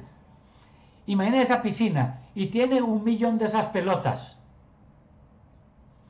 Y alguien me dice, oiga señor, a usted que lo veo tan elegante, con esos tirantes, con esas gafas, le voy a decir un secreto de esa piscina solo hay una pelota que tiene microbios, bacterias, es la amarilla. De resto, las otras pelotas no tienen ni un solo microbio y son un millón. Yo lo miré, me sonreí y le dije, sí señor, la única pelota que tiene microbios ahí es la amarilla. Y esperé que se fuera. Ustedes y yo sabemos que en todos los rincones de ese lugar de pelotas, esa piscina de pelotas, donde haya condiciones físico-químicas apropiadas para que haya microbios, es posible encontrar microbios.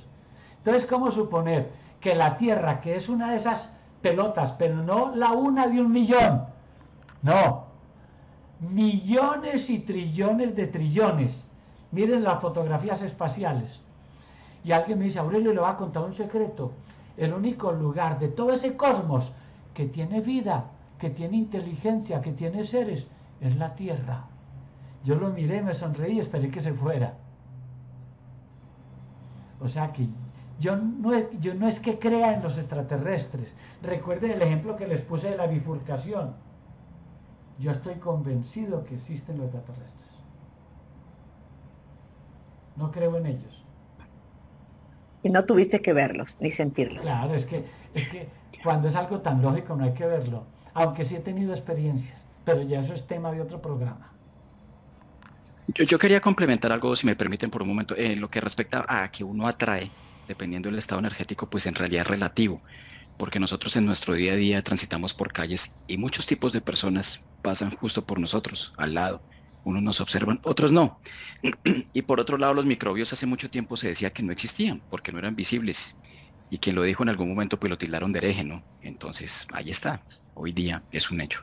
Lo que no, que no se vea no significa que no exista. Así es. Eh, José Marchán, abre tu micrófono, por favor. Buenos días, buenas tardes, buenas noches. Mi nombre es José Machain. Machain. Los saludo con respeto a todos ustedes. ¿De dónde? De Tepic, Nayarit, México.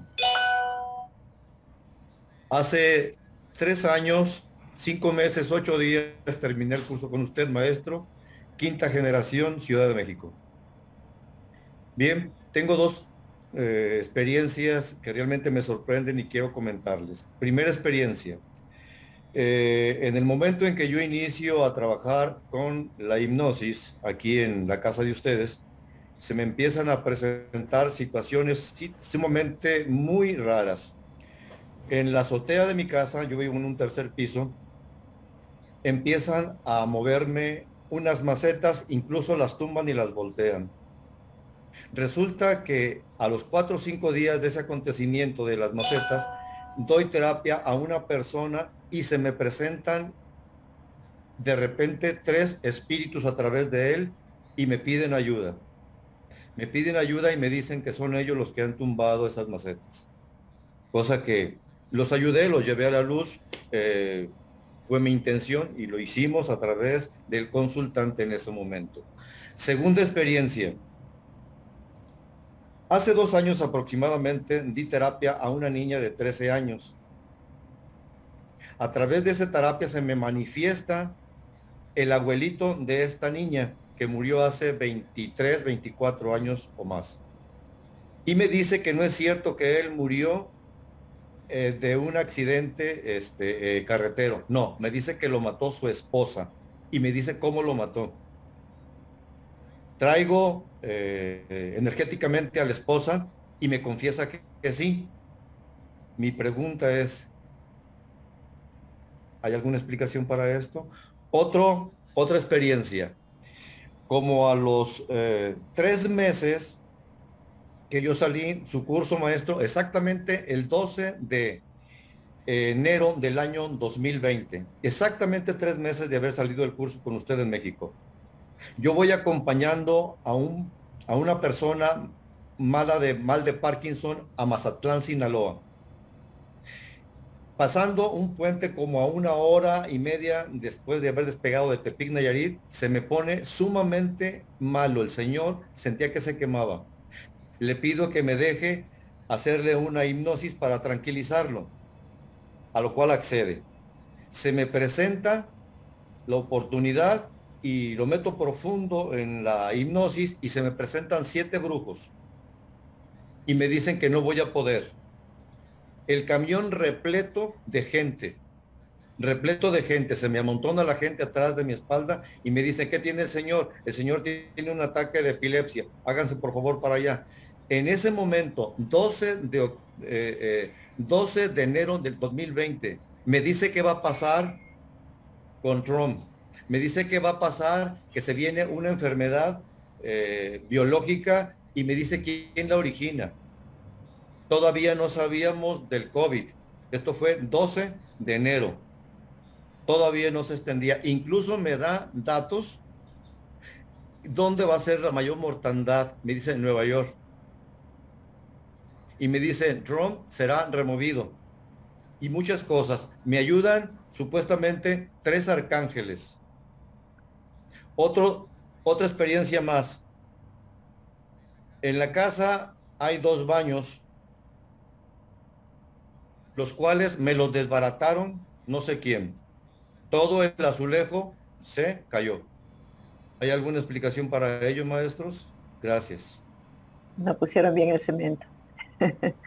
Maestro. No, yo creo que ya la respuesta fue dada con las explicaciones que hemos dado y los ejemplos del anillo, de las lágrimas, del vidrio de la mesa de Disney, del reloj que yo tenía.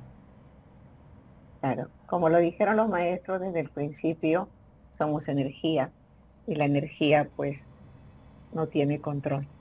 ¿De acuerdo? Erika, por favor, puedes abrir tu micrófono.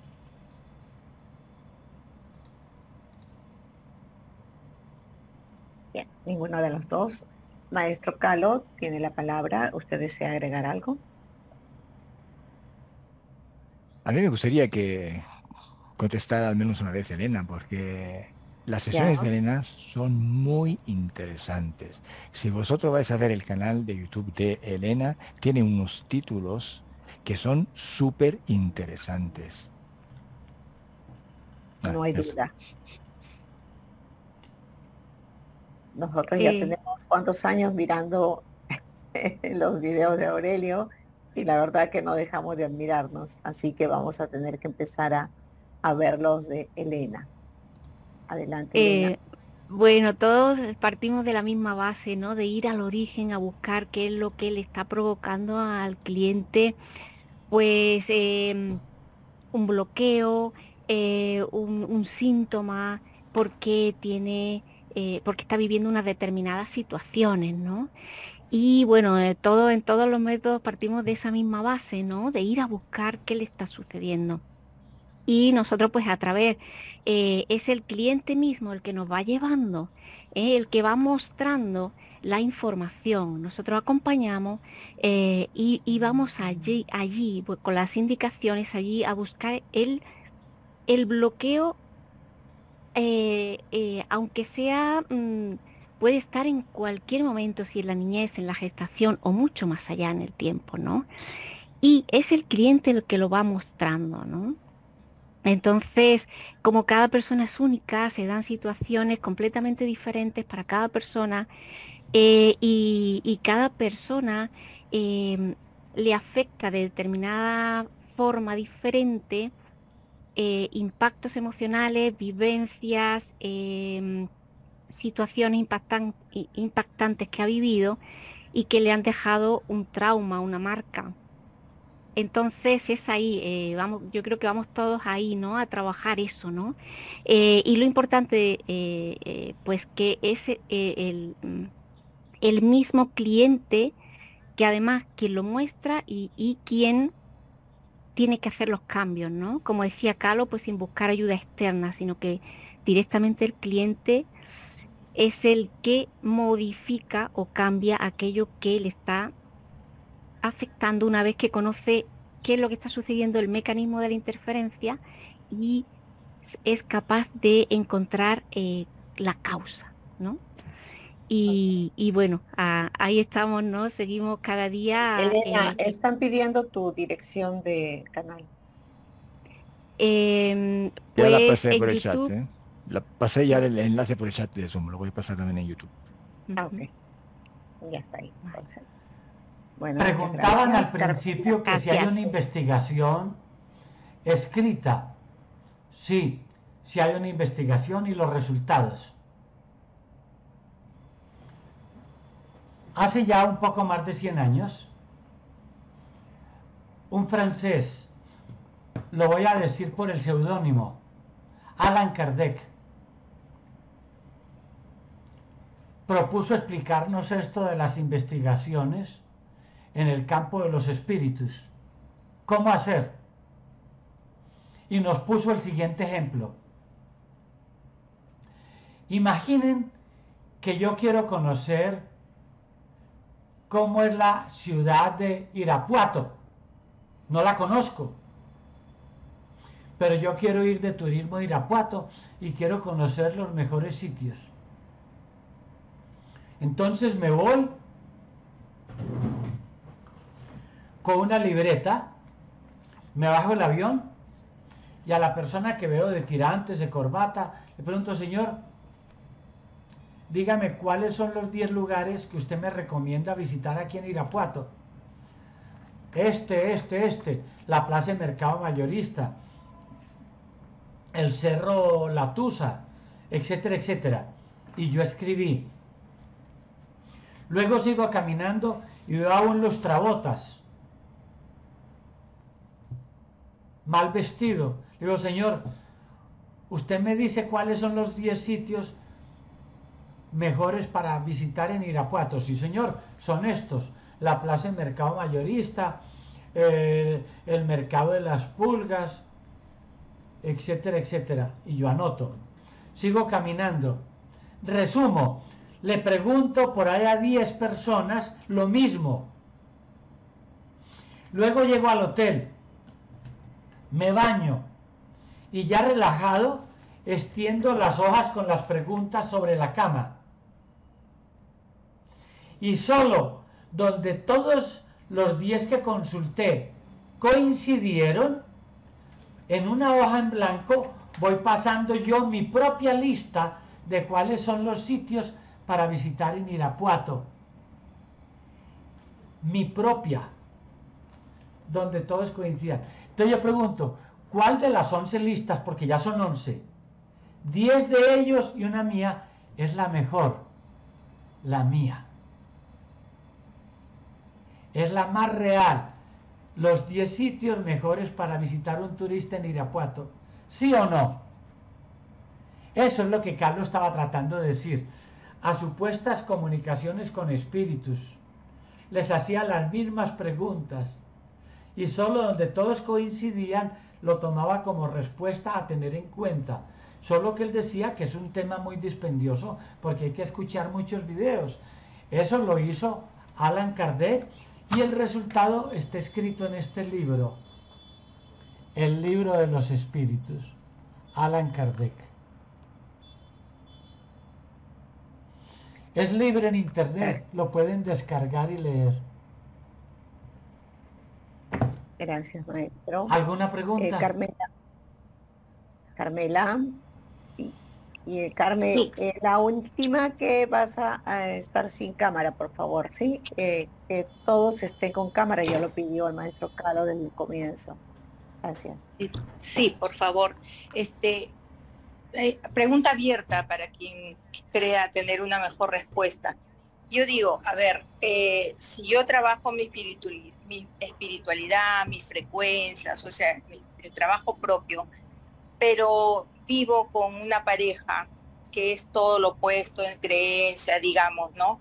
Que no cree en la espiritualidad, qué sé yo. Entonces, ¿cómo cómo evitar que, que, me afecte o que, en fin, ¿no? No, ya le no entendí sé, no la sé pregunta. No la haga más larga que ya Ajá, la entendí. Eso. Usted vale, me dice, gracias. Aurelio, estoy practicando la espiritualidad, yo ya hago todos los mantras, yo ya cruzo mis dedos así y hago guau, y... pero la pareja que tengo me pone a prueba mi paciencia, mi tolerancia, eh, me roba, me miente.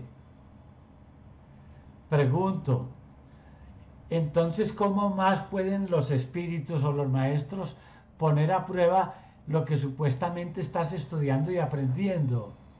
Es que no se trata de teoría, también hay que practicar. Es en la práctica donde se mide al deportista. Y otra cosa, no confundan espiritualidad con vida buena. Más espiritual que Jesús tal vez eh, no sé quién. Y recuerde que a él lo crucificaron. Recuerde que a él esos supuestos doce apóstoles lo abandonaron todos doce. Su propia familia decían que él estaba loco. Sus hermanos no creían en lo que él predicaba. Es que el soldado se mide es en la trinchera, en el combate. El marino se mide es en la barca cuando hay tempestad y olas grandes.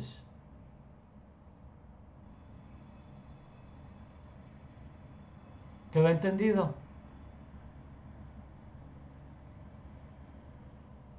Espero que sí. Gabriel. Oh, sí, disculpe, disculpe, tratabas de encontrar el botón.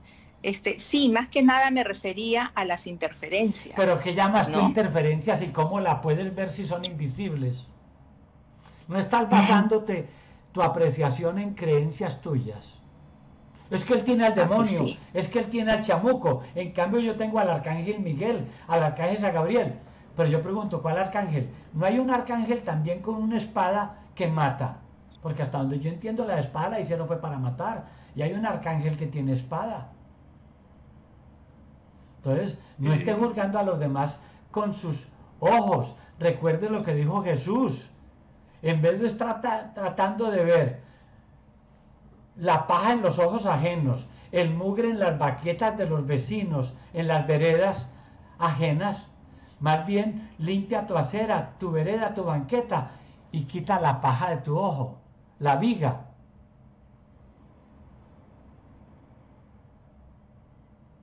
Creo que Ramiro iba a participar. Eh, qué forma muy interesante de preguntar, ya es hora de divorciarme. no, no, no. Eh, era solo eso, ¿no? No, realmente cuando practicamos la espiritualidad y una persona, nuestra compañía o nuestra familia, eh, no entra en ese campo, realmente somos nosotros, somos, eh, es la persona que se cree que está avanzando, la debe entender y buscar si quiere y si se puede una forma de llevar a esa persona a, a vivir o a interesarse por el tema, ¿no? No es, como decía el maestro Aurelio, pues no es eh, ser el crítico de esa persona y luego ya verlo como un estorbo, sino que todo lo contrario, es la paciencia y es la capacidad que debemos tener de invitar a esa persona a que nos siga eh, en, ese, en esa experiencia, ¿no? Si es posible, ¿no? Tener en cuenta las células espejo, ¿verdad? Exacto. A ver qué cosa hay ahí. Gabriel, vámonos apurando porque... Sí, sí, así bien rapidito.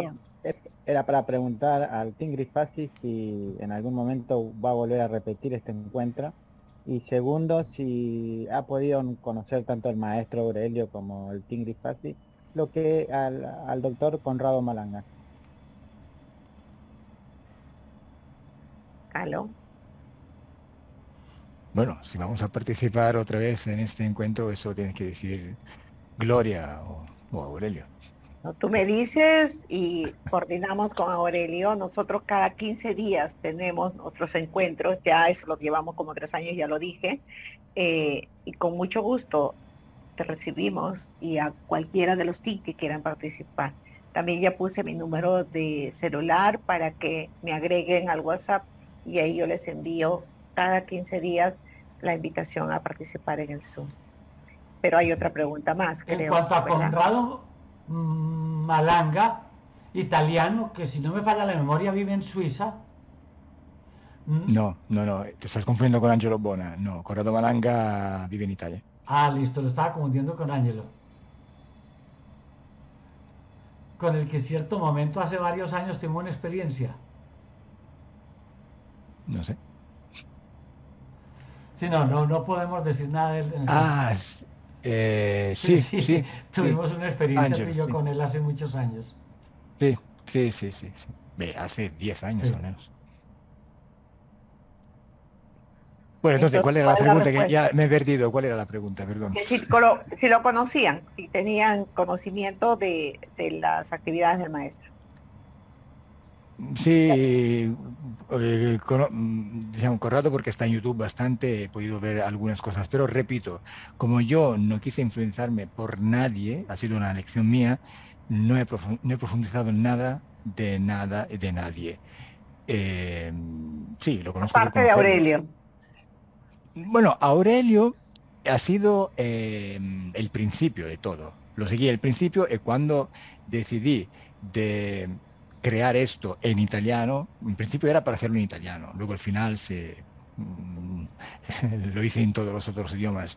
Y al final, haciendo cosas, al final, digamos que mm, entró mi personalidad y, creó, digamos, mm, un método eh, diferente, pero al final los objetivos son los mismos, los resultados son los mismos, es el método que es diferente, eh, no cambia nada al final, y, y ya está pero Aurelio porque lo seguí desde el principio, pero cuando decidí ya de hacer las cosas eh, y, crear algo, ya me alejé de todo el mundo. Además, os digo una otra cosa más. Cuando empecé a hacer las cosas, todos los operadores del tiempo y de ahora, y los que siguen ahora, como Aurelio, como Corrado, como Ángelo, como otros, eh, todos me han venido en contra todos han ido a por mí, a matarme, a que desapareciera de la web, aparte Aurelio, obviamente. Eh, además, con Aurelio tuvimos la experiencia que nos amenazó, empezó a decir, que ya no me acuerdo qué pasó. Eh, se montó un lío, me acuerdo que todos los followers que tenía yo en un grupo de Facebook se volcó contra esta persona que estaba diciendo de todo y más de mí, hablando muy mal de mí, además nos amenazó de llevarnos a un tribunal por no sé qué, bueno, un libro, ya no me acuerdo ni cómo terminó, pero al final desapareció porque cuando vio que no se podía hacer nada, todo luego eh, desapareció en, la nada. Pero sí, en principio, eh, vi todos esos operadores ya firmados en el momento, molestados por... Eh, hay que entender una cosa.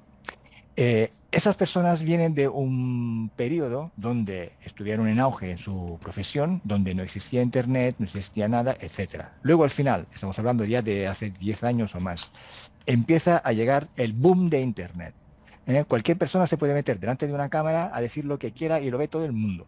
Entonces es diferente la forma de comunicar. Una persona que antes necesitaba quién sabe qué para poder eh, decir algo y que la gente lo pudiera ver o escuchar, ahora es muy, mucho más fácil y depende solo de él mismo. Entonces, el hecho que entraba yo como Aurelio, entramos en este mundo eh, rompiendo e rompiendo a través de Internet, estas personas se sintieron amenazadas en alguna manera. Yo sentí que se sintieron amenazadas y tuvieron que como controlar como que estas personas por internet que quieren hacer.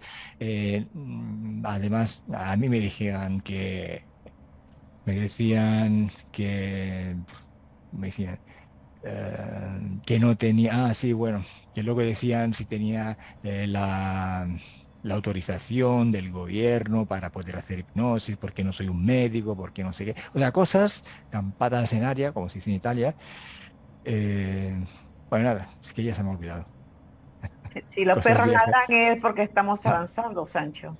Y además yo lo enseño siempre en los cursos que hago, lo enseño siempre. No es porque hay personas que se dedican a ayudar, entre comillas, a las otras personas, ¿eh? se, dicen de sí que son sanadores, que son curadores, que son terapeutas lo que sean, son personas buenas, de altas vibraciones, del amor, no sé, la humanidad. No, que son los peores, siempre lo digo, son los peores. Si una persona hace algo para otros, primero lo está haciendo por sí mismo, porque estamos hechos de ego, todos.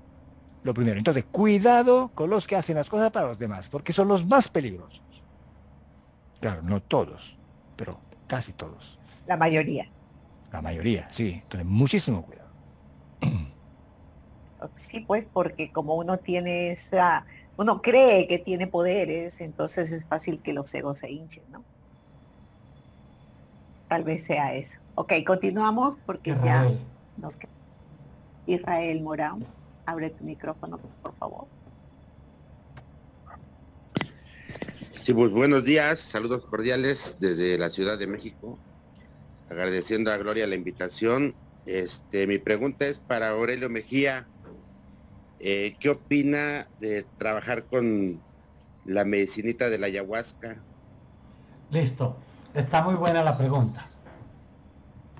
Primero, la ayahuasca o yagé tiene una connotación espiritual indígena ancestral y lo practican con mucho respeto. Y las personas utilizando el poder narcótico de la ayahuasca entran en estados meditativos o de trance, hipnosis. Y logran conexiones con sus ancestros, con otros niveles de energía. En fin, ahora no se trata de cuestionar eso. Lo que yo voy a cuestionar es al hombre blanco que buscando el poder, narcótico alucinante de la ayahuasca, hace esos rituales por los que no tienes respeto ni conoces su historia. Y entra en estados al principio de vómito, de daño estomacal, sudor, que lo lleva a estados alucinatorios. Y el hombre blanco piensa que conectó con otras. Ahí es donde no estoy de acuerdo. Es un narcótico. Pero desde el punto de vista indígena no lo cuestiono, porque lo hacen con respeto y como parte de un ritual. Pienso que hay respondido. Ok, Ramiro, me gustaría escuchar tu opinión referente a la ayahuasca. Bueno, eh, a ver, en general, pues todas las mm, todos los, los, aditivos holotrópicos, alucinógenos. Pues, ah, sí, alucinógenos, eh, generalmente, pues son una experiencia que, bueno, las personas están en libertad de vivir, de, experienciar, pero eh, eh, no es necesario. Yo experimento con eh, en el campo de la investigación este tipo de situaciones simplemente activando cierto tipo de hormonas y demás sustancias que produce el cerebro.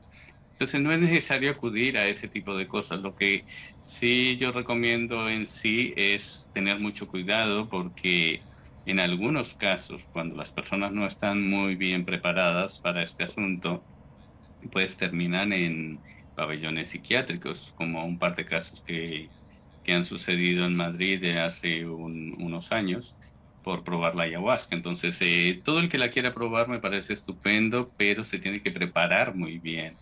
Hoy, todo, hoy día todo el mundo ofrece ayahuasca, ofrece peyote, ofrece toda una serie de, experiencias, pero hay que ir con cuidado y saber con quién lo hace si quieres experimentar.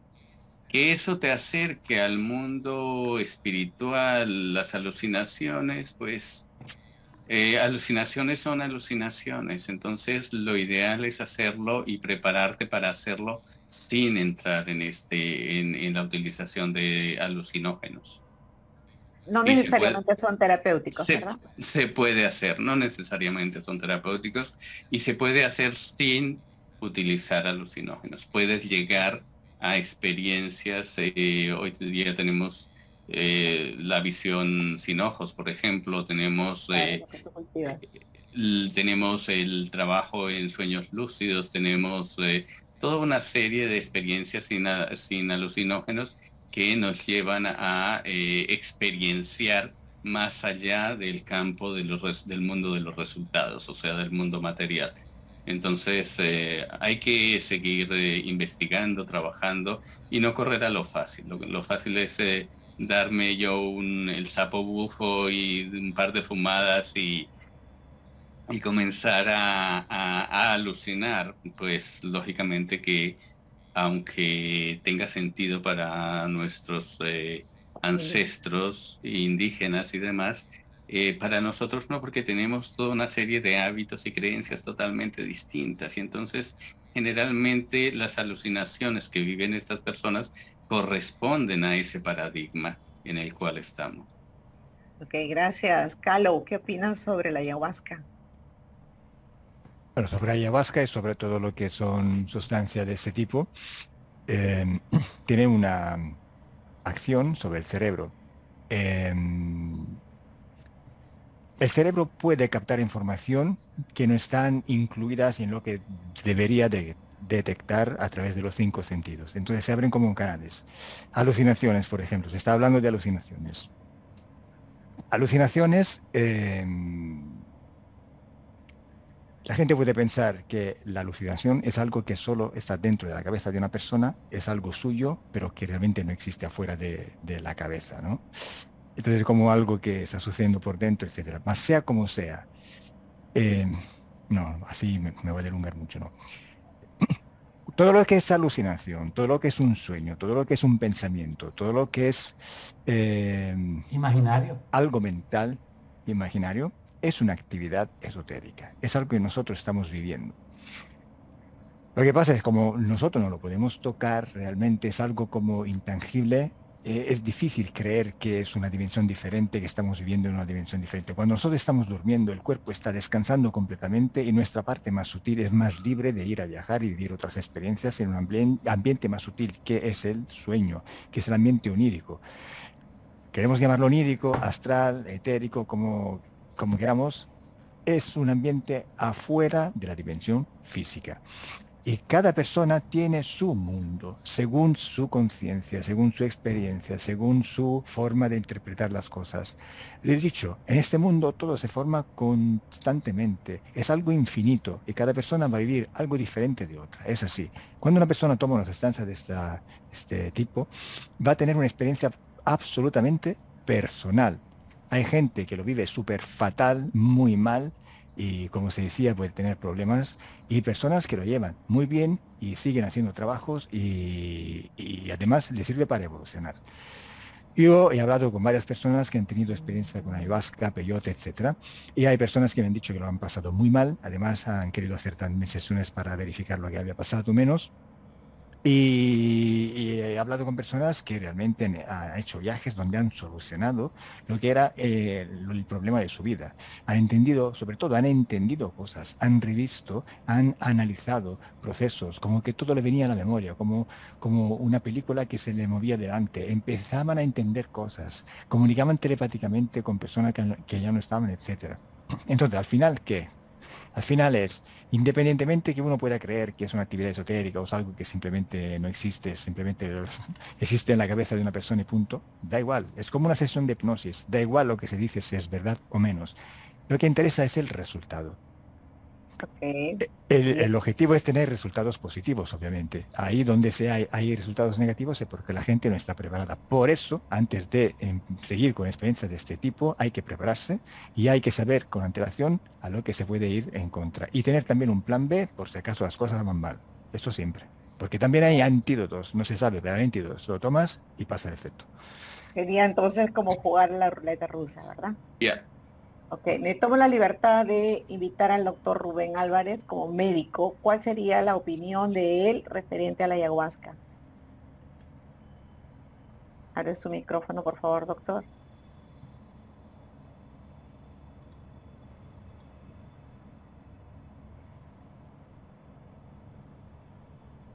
Se perdió el doctor. Sí, Ramiro, ¿ibas a intervenir? En, bueno, en general el, concepto, digamos, el concepto de, em, de vivir, de experienciar, eh, claro, ese, ese de pura, de pura libertad, ¿no? Y el resultado, el resultado, como dice Caloyero, es, eh, depende, ya te digo nuevamente, de los hábitos, de las creencias y el paradigma en que esté. Y, y si es válido para las personas, vale, es...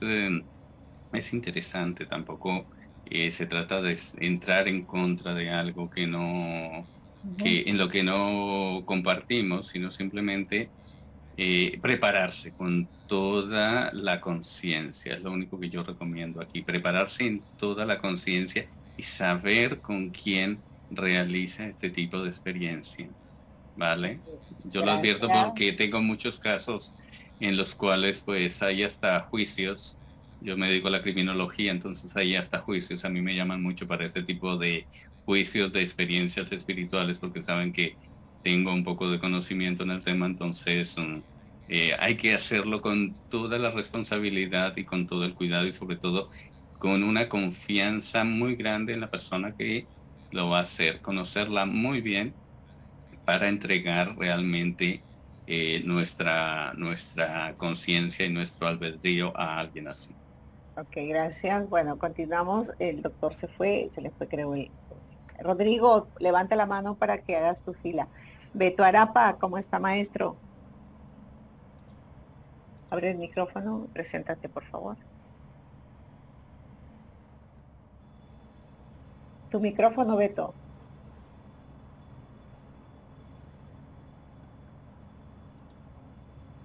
Luego sigue Carlos Aguilar y luego Rodrigo que está Buenos días.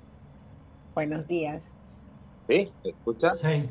Que ahora sí. A ver, a ver, sí. Eh, gracias por la invitación. Eh, quería preguntar abiertamente. Resulta que yo estoy entrando al mundo holístico mm, hace como ocho años más o menos.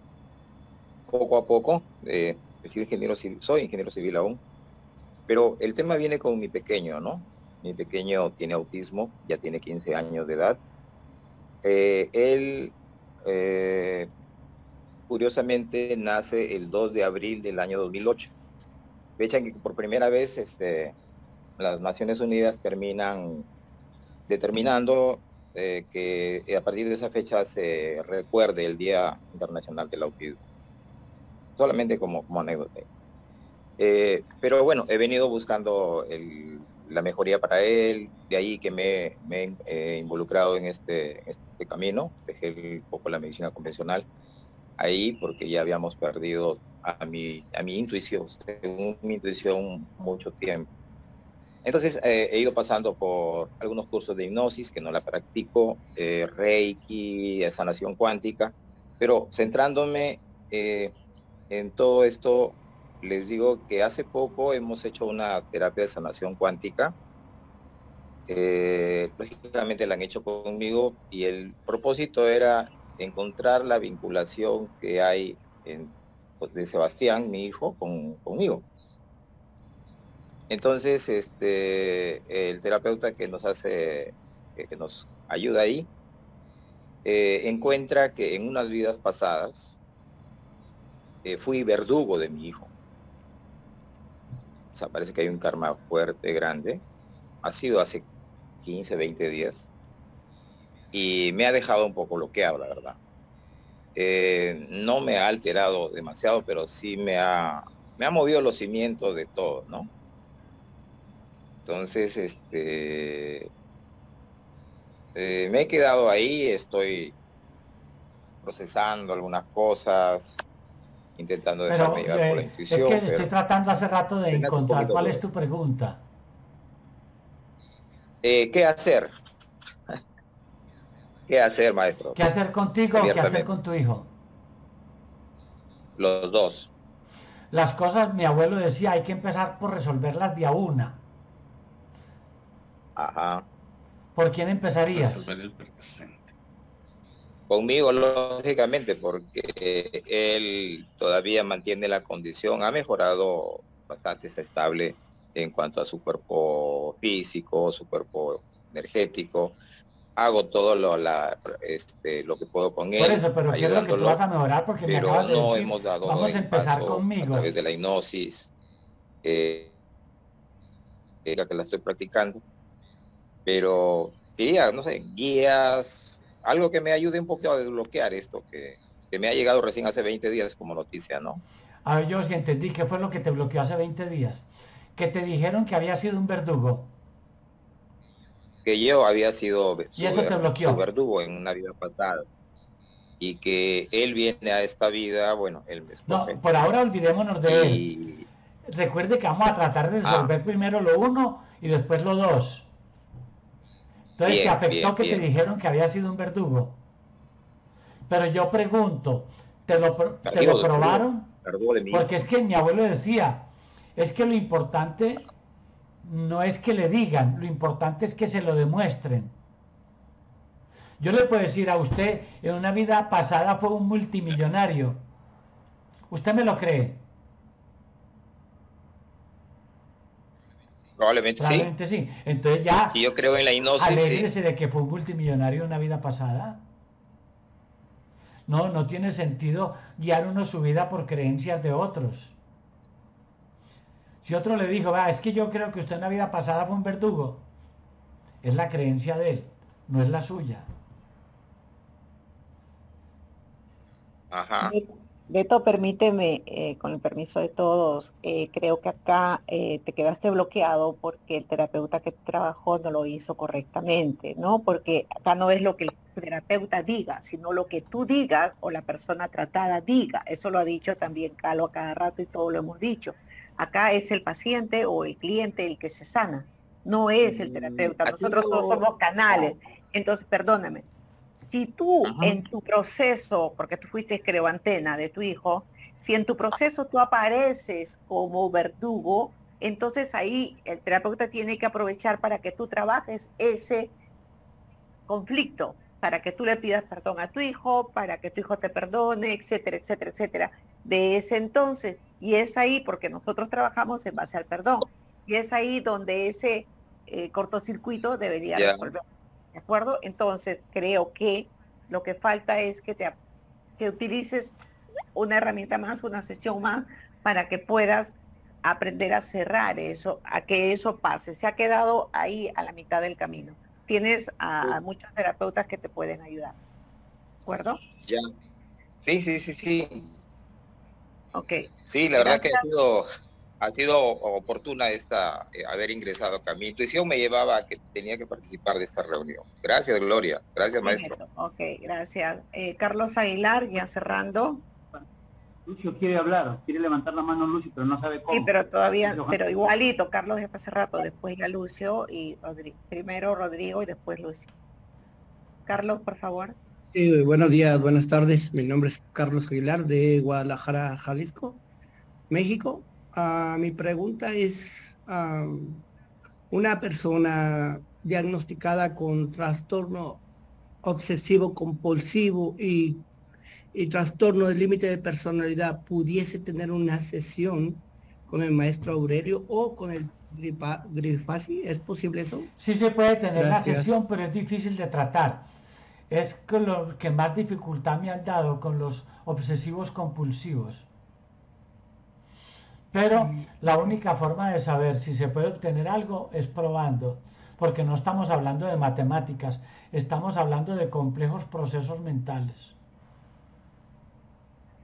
Además que no tenemos que dejarnos llevar por un diagnóstico, ¿cierto, Aurelio? Así es. Nosotros no quitamos diagnósticos, tratamos de ayudar a sanar a la persona lo que ella siente, no lo que le dijeron que debía sentir. Calo, tu respuesta.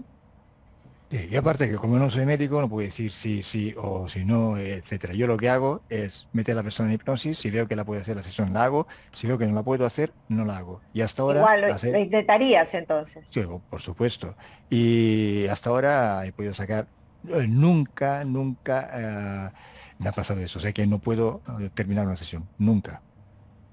Nunca. Ya, está respondido, Carlos. Gracias. Ok, bueno, ahora sí. ¿Quién era Carlos Llerena? ¿Quién era? Lucio, ¿dónde estás? Que no te veo. Lucio, abre tu micrófono, por favor. Lucio. Lucio Hans, mi discípulo de Uruguay, ¿dónde está? pues desapareció. Está, habla Lucio. ¿Ahí? Ahora sí. Hola, ¿cómo ah, estás? Bien, un gusto. Bueno, un placer estar en contacto. Es la primera vez que puedo participar por el tema de los horarios y, bueno, las obligaciones y demás. Em, exactamente. Eh, Aurelio Mejía, mi maestro, me encuentro acá en Uruguay. Eh, bueno, mi nombre es Lucio Hans, como me acabaron de mencionar. Em, trabajo eh, en varias terapias. Y hoy mencionaron el tema de, del tema de la ayahuasca. Soy terapeuta en medicinas ancestrales. Este, y lo que puedo decir referente a los años que tengo, eh, en, mi propia experiencia y en experiencia con, con pacientes, sí, como estaban comentando por allí, sí hay que saber Primero, primero hay que hacer una reunión con la persona a ver si realmente está preparada para vivir una experiencia de ese tipo, porque hay que comprender primero que nada que eh, son enteógenos, no son alucinógenos, enteógenos. Los enteógenos lo que hacen es, en este caso la ayahuasca o, cualquier otro tipo de herramienta, es llevarnos a nuestro interior eh, dentro de lo que es eh, el mundo de, del tratamiento con estas medicinas, hoy en día se está tratando de dejar de llamarles alucinógenos. Incluso eh, ya se ha comprobado y existen estudios científicos en los cuales en el caso del ayahuasca ayuda a sacar lo que son las alucinaciones. Son desalucinógenos. Lo que sucede es que como em, no ha sido muy comprensible, porque es, más desde la experiencia, desde el trabajo propio que se puede llegar a comprender eh, este tipo de caminos, los cuales son muy interesantes, eh, es solamente desde ahí que podemos llegar a entender en profundidad el funcionamiento de estas herramientas. Em, entonces, hay que sí saber con, quién y a quiénes, eh, a quiénes tratar dentro de, de este tipo de procesos, porque, como mencionaba, al ser un enteógeno va a llevar a la persona a su interior y a encontrarse primero lo que hace es eh, abrir el inconsciente, el subconsciente, y se va a liberar muchísima cosa que está guardada ahí. Entonces, eh, si no hay una preparación previa, que es parte de lo que hacemos acá en, mi centro terapéutico Loto, acá, en Uruguay, si no, hay, no existe una preparación previa y un seguimiento, tiene que haber un seguimiento y tiene que haber una preparación previa, para el tratamiento de los pacientes. ¿ah? Eh, no son tratables y no recomiendo personas tratables, eh, no son tratables aquellos que vienen de manos de, de que, están que está tomando, por ejemplo, eh, psicofármacos, como son ansiolíticos, como son antidepresivos, como son antipsicóticos. No recomiendo porque lo que va a hacer la medicina es justamente eh, al abrir el inconsciente, el subconsciente, a destapar más la olla digámoslo así, destapa muchísimo más la mente. Y va a llevarlo a transitar el mundo que la persona no conoce. Por eso el seguimiento eh, post-terapéutico es tan importante. Eh, gracias, Lucio. Ok. Ok, muchas gracias, disculpa. Y reafirmo que no es, una, eh, no es un medicamento. Se te escapó la, la palabrita por ahí. Ramiro, a ver, chiquito.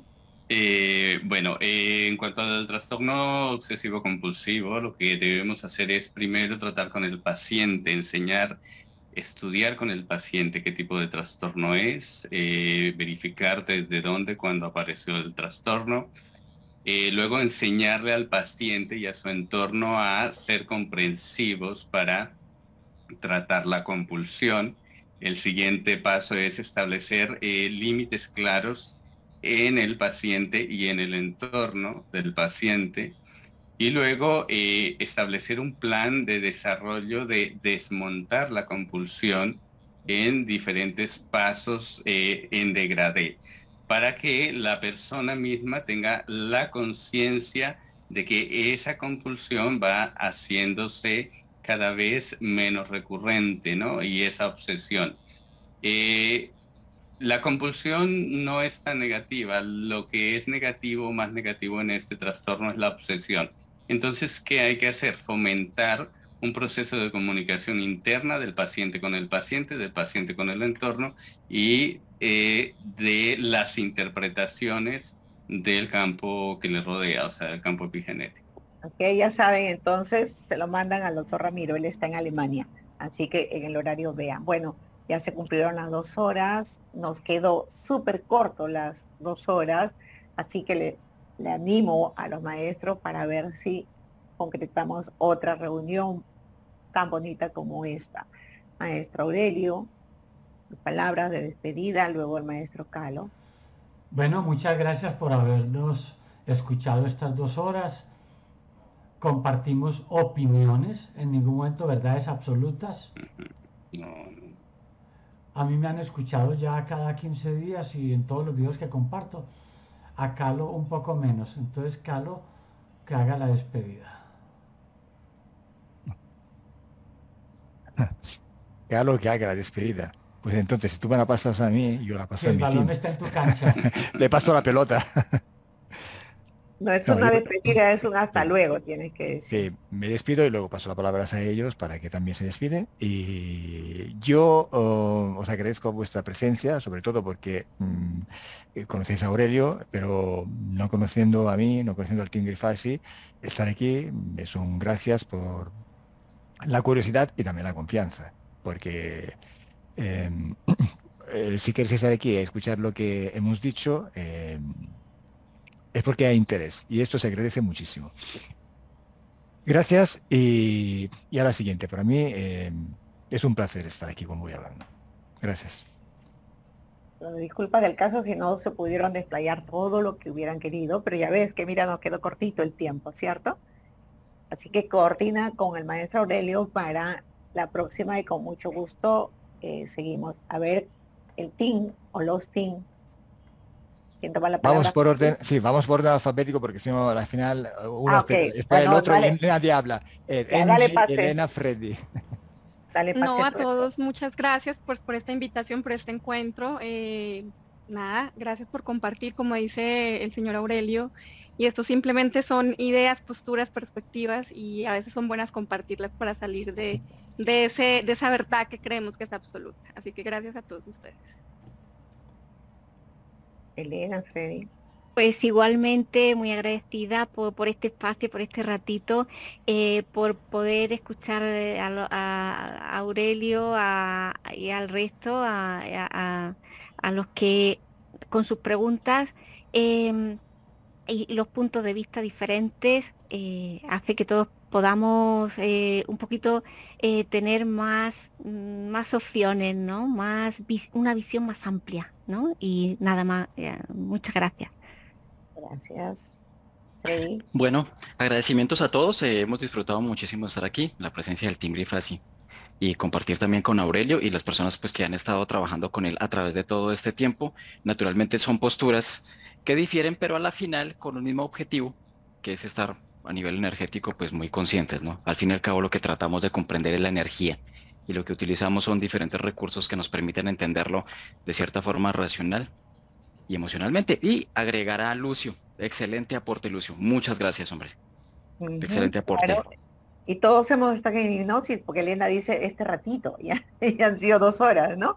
Entonces, cuando es así, es porque ha estado interesante el tema, ha estado muy bueno y creo que tiene que quedar el compromiso entre Carlos y Aurelio para que programen en otra fecha. Y eso que decíamos que el horario y todo, pero no, todo se ha superado, muy bonito. Los invito a que me escriban al WhatsApp más 51 999 889412 para agregarlos e invitarlos a los siguientes eh, programas. Nosotros hacemos cada 15 días. Este domingo no, el siguiente domingo nos toca con el maestro Aurelio. Así que eh, están invitados. Muchísimas gracias. Visiten las páginas de de Calo. Calo, da tu página, por favor. Sí, le pongo aquí en el chat, pongo mm, el sitio web. Pronúncialo, eh, pronúncialo. Es mi nombre y apellido.com, caloggerogrifasi.com. caloggerogrifasi.com, bueno. Aurelio Mejía.com, Elena Martín. No, no, no, pero... no, le estoy diciendo a Elena Martín que ah. lo diga, que diga. Elena Martín, di tu dirección. Ah, sí. Eh, Elena Martín, eh, Tingrifasi. voy a pasar los enlaces mejor. Eh, los enlaces mejor porque ahí va todo. Sí, sí, ya están pasados, pero es que hay algunos que no, cuando lo vean la repetición, porque esto va al canal del maestro Aurelio, va a mi canal, va al, canal de, y no todos logran verla, el, el, chat, ¿no? Entonces es mejor decirlo. ¿De acuerdo? ¿Alguien más eh, que quiera decir? El doctor Ramiro Montaño. Bueno, simplemente, simplemente pues eh, fue una tarde muy interesante. Gracias por compartir las experiencias y claro que ah, por aquí estaremos cada vez que tengamos la oportunidad de reunirnos. Y recalcar que acá nadie trata de convencer a nadie, solamente ofrecemos nuestros, nuestras creencias, hablando de eso, ¿no? Con el fin de inquietar un poquito y, buscar otras opciones. No imponemos absolutamente nada, ¿de acuerdo? Eh, pues Angie o Freddy, ¿quieres dar tu página?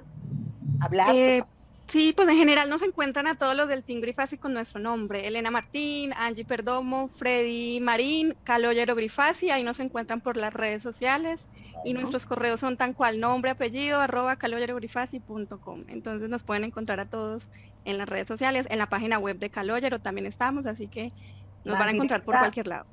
Más directa no podría ser. Ok, muchísimas gracias, un fuerte abrazo. Espero su comunicación para luego enviarle las invitaciones. ¿De acuerdo? Un abrazo. a todos, gracias. Gracias, gracias.